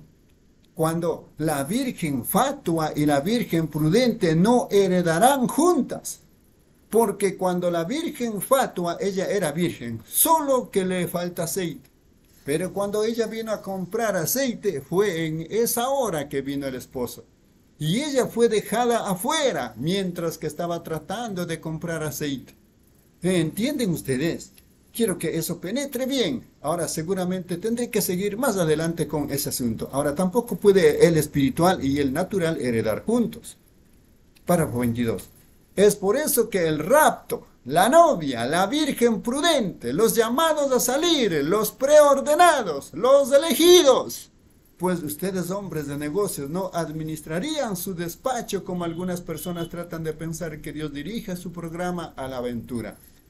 Dios sabía antes de la fundación del mundo quién sería salvo y quién no sería salvo. Por predestinación, por conocimiento previo él vio a cada miembro, puso cada nombre en el libro de la vida del Cordero antes de que la iglesia comenzara. Jesús vino a buscar y a salvar a aquel que estaba en ese libro. Él compró el libro de la redención. Estaba perdido. Y Él nos redimió. Y todos los nombres que estaban en ese libro fueron redimidos cuando Él nos redimió. Amén. Párrafo 23. Entonces, como he dicho muchas veces, ustedes reconocen eso. Es por eso que ustedes están aquí en esta mañana, que ustedes están saliendo de todas estas organizaciones y cosas así. Ustedes están, hay algo que los está hablando a ustedes, como era mi pequeño pensamiento sobre el águila que nació debajo de la gallina. Vean ustedes, ustedes se dan cuenta de que hay algo diferente. La, la iglesia no tenía una, una cosa que satisficiera. Pero usted Usted oyó algo más que era un clamor. Usted se dio cuenta que, que nació para eso. Usted es parte de eso. Usted, usted encaja en eso como un guante en una mano. Y es por eso que estamos reunidos aquí en esta mañana, es porque como mi, mi mamá sureña solía decir, aves de un mismo plumaje se juntan. Porque ustedes tienen cosas en común. Los cuervos y las palomas no tienen nada en común. Sus dietas son diferentes, aunque una paloma pudiera salir del cascarón debajo de un cuervo. Correcto. Depende de qué era el, al principio. Ahora, y en eso, aunque la, la, paloma tuviese que ser cuidada por un tiempo por aquel, por aquel cuervo, pero finalmente ella encontrará a su compañero. Párrafo 24. Eso es lo que la iglesia está haciendo hoy, pues Jesús es la palabra y Él es el novio, y la novia es parte del novio. Por lo tanto, la palabra que debe ser cumplida hoy es la misma parte de la palabra que fue cumplida en su día, y es la misma palabra, la misma experiencia, la misma vida. Pues cuando Dios separó a Adán, Él era ambos. Encontramos que Adán era espíritu al principio él hizo al hombre a su propia imagen, lo creó varón y hembra. Y entonces, en Génesis 2 en adelante, Él creó al hombre en del polvo de la tierra. El hombre fue creado a la imagen de Dios. Dios es un espíritu. Así que Él es un hombre espíritu. Luego, cuando Él llegó a ser un hombre de carne, carne animal en la tierra, Él está, Él está mostrando retratando aquí a la novia. Él no agarró, eh, hizo otro ser. Él no agarró e hizo otro ser, perdón, sino que él tomó parte de Adán, la creación original. Tomó de él una costilla de su costado y sacó el espíritu femenino de Adán. Dejó el espíritu masculino allí y lo colocó en la parte femenina. Por lo tanto, parte de su espíritu, parte de su cuerpo, carne de su carne, hueso de su hueso, palabra de su palabra, vida de su vida, y así es la novia con respecto a Cristo. Es por eso que el rapto de la simiente real tiene que venir primero. Y el resto de los muertos no vivieron por mil años. entonces fueron traídos al juicio del trono blanco. Vean, no hay juicio para la simiente real o la simiente predestinada de Abraham. Ahora, si ustedes toman San Juan 5:24, escuchen esto. El que oye mi palabra y cree en el que me ha enviado tiene vida eterna. Párrafo 25. Ahora, ¿cómo sería eso tan diferente de muchas de nuestras teologías? Miren, yo podría salir por aquí y decirle a un borracho, ¿usted cree? Claro. A un hombre con una mujer ajena, ¿usted cree? Claro. ¿Estaba usted en la reunión anoche para oír la palabra? Claro. ¿Usted lo cree? Claro. Él está diciendo eso por decirlo. Pero la interpretación original de esta palabra es, el que entiende mi palabra y cree en aquel que me envió. El que entiende, es decir, aquel a quien ella es dada a conocer. Jesús dijo, nadie puede venir a mí si mi Padre no le trajere. Y todo lo que el Padre me ha dado vendrá. Mis ovejas, mis palomas oyen mi voz, al extraño no seguirán. ¿Y cuál es la voz de Dios? Es la palabra de Dios. ¿Qué es la voz de alguien sino su palabra? Es la palabra de Dios. Ellos oirán la palabra de Dios. Párrafo 26. Por lo tanto, la simiente natural fue apenas un portador. Primero, través de Ismael. Segundo, Isaac. Luego hasta llegar a la simiente. Así como el tallo la borla y el foro del maíz. Ahora, aquí, las tres etapas de la semilla o simiente nos muestra el verdadero cuadro que quiero que ustedes noten conmigo en esta mañana. Estamos viendo aquí. Y siendo falto de instrucción, yo tengo que tomar las cosas naturales que veo para tipificar las cosas espirituales que me son dadas a conocer, ya que yo no podría hacer que tenga sentido para ustedes con gramática alguna. Y, de todos modos, Dios siempre tipifica lo espiritual a través de lo natural. Si no existiera una Biblia, yo aún sabría que el cristianismo es correcto, ya que toda la tierra gira en torno a muerte, sepultura y resurrección. La naturaleza efectúa muerte, sepultura y resurrección. Vean la savia que sale del árbol, cómo es que trae la hoja y el fruto, cae y regresa a la tierra para el invierno frío, debajo del suelo. Sube nuevamente en la primavera con nueva vida, cada año, testificando que hay una vida, hay una muerte y hay una resurrección. Párrafo 27. El sol sale en la mañana, un bebecito recién nacido, muy débil. A las 7 u 8 comienza a ir a la escuela a las 10 u 11 termina la universidad. Está brillando en su fuerza desde más o menos las 11 como hasta las 3. Empieza entonces a debilitarse. En la tarde se oculta, se pone débil, un hombre viejo. ¿Es ese el final de él? ¿Muere? No, vuelve a levantarse a la mañana siguiente. Ven, toda la naturaleza, su verdadera y genuina Biblia que da testimonio con esta Biblia. Y eso es lo que estoy procurando mostrarles en esta mañana a través de la naturaleza. Usted verá la palabra de Dios moldeada conforme a la, la palabra de Dios, porque la naturaleza es la formación de Dios. Como la ciencia. Ellos encuentran la mecánica y las leyes de la naturaleza, pero ellos no saben lo que es lo que es esa naturaleza. No conocen la vida de la naturaleza. Es Dios. Así que la mecánica sin la dinámica no sirve. Párrafo 28. Ahora, el tallo, la borla y el forro, noten, Agar aquí representó el tallo, que fue la primera vida que tuvo inicio en la promesa. Sara representa la borla, o el polen que viene en la borla. María la Virgen representó y produjo la verdadera simiente espiritual para traer el verdadero tallo genuino. Agar y Sara ambas fueron por el sexo, pero María la Virgen fue por el poder de la palabra prometida de Dios, por nacimiento virginal. Ella produjo la simiente genuina, el tallo, Agar. La segunda esposa por duda en la promesa, obrando a través de una duda, un poquito. Párrafo 29. Solo espero que Dios nos ayude. Yo no quiero tanto que vean esto. Ustedes no pueden dudar un poquito cualquier parte de ella. Ustedes tienen que tomarla exactamente como ella es. No necesita interpretación. La Biblia dice que la palabra de Dios no es de interpretación privada. Dios no necesita ninguna de nuestras escuelas para interpretar su palabra. Cuando Él la vindica y la hace viva, esa es la interpretación de ella. Cuando Dios dijo, sea la luz, hubo luz. Eso no necesita ser interpretado. Cuando Él dijo, una virgen concibirá, ella concibió. No necesita ser interpretado. No necesitamos todo esto, sus seminarios y cosas que agarran al hombre. Bueno, nosotros tenemos a la interpretación. Nosotros tenemos la interpretación. Dios mismo interpreta su propia palabra. Él no necesita que nadie interprete por él. Él dijo, acontecerá y acontece. Él dijo que en los últimos días Él derramaría su espíritu y Él lo derramó.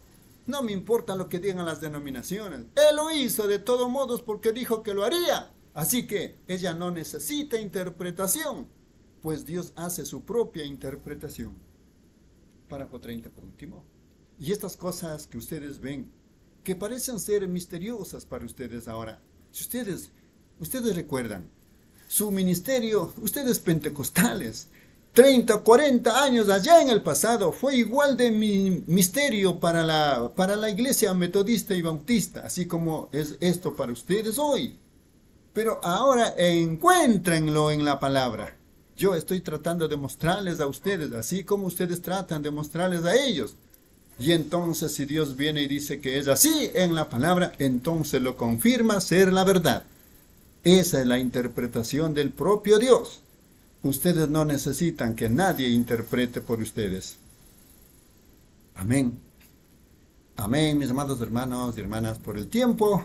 Concluimos con este glorioso compañerismo y compartiendo los mensajes de de esta hora final. Si Dios permite, el día de mañana continuaremos a partir de los párrafos 31 de este mensaje titulado La simiente no heredará con el forro. Servicio realizado en Los Ángeles, California, Estados Unidos, el día 29 de abril del año 1965. Agradeciendo a nuestro Padre Celestial, nos despedimos con, con una oración. Gracias, Padre Celestial Señor Dios Todopoderoso, por habernos permitido una vez más, Señor, entrar en tu presencia de tu palabra.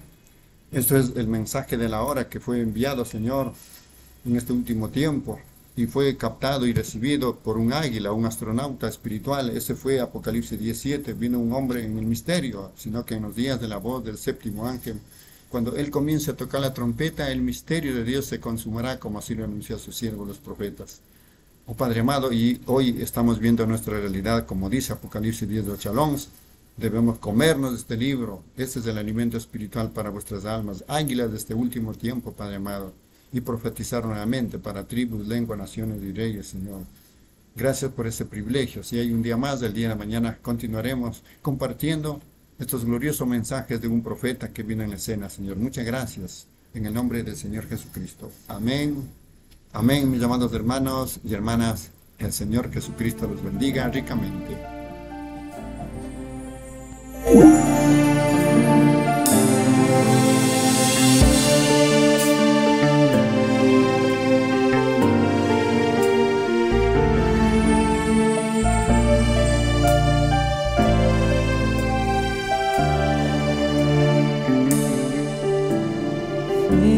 escena terrible Después de la caída, el hombre de la presencia de Dios. El real amor y el deseo por Dios ya no estaba. Escogió el camino que a él le parecía correcto servir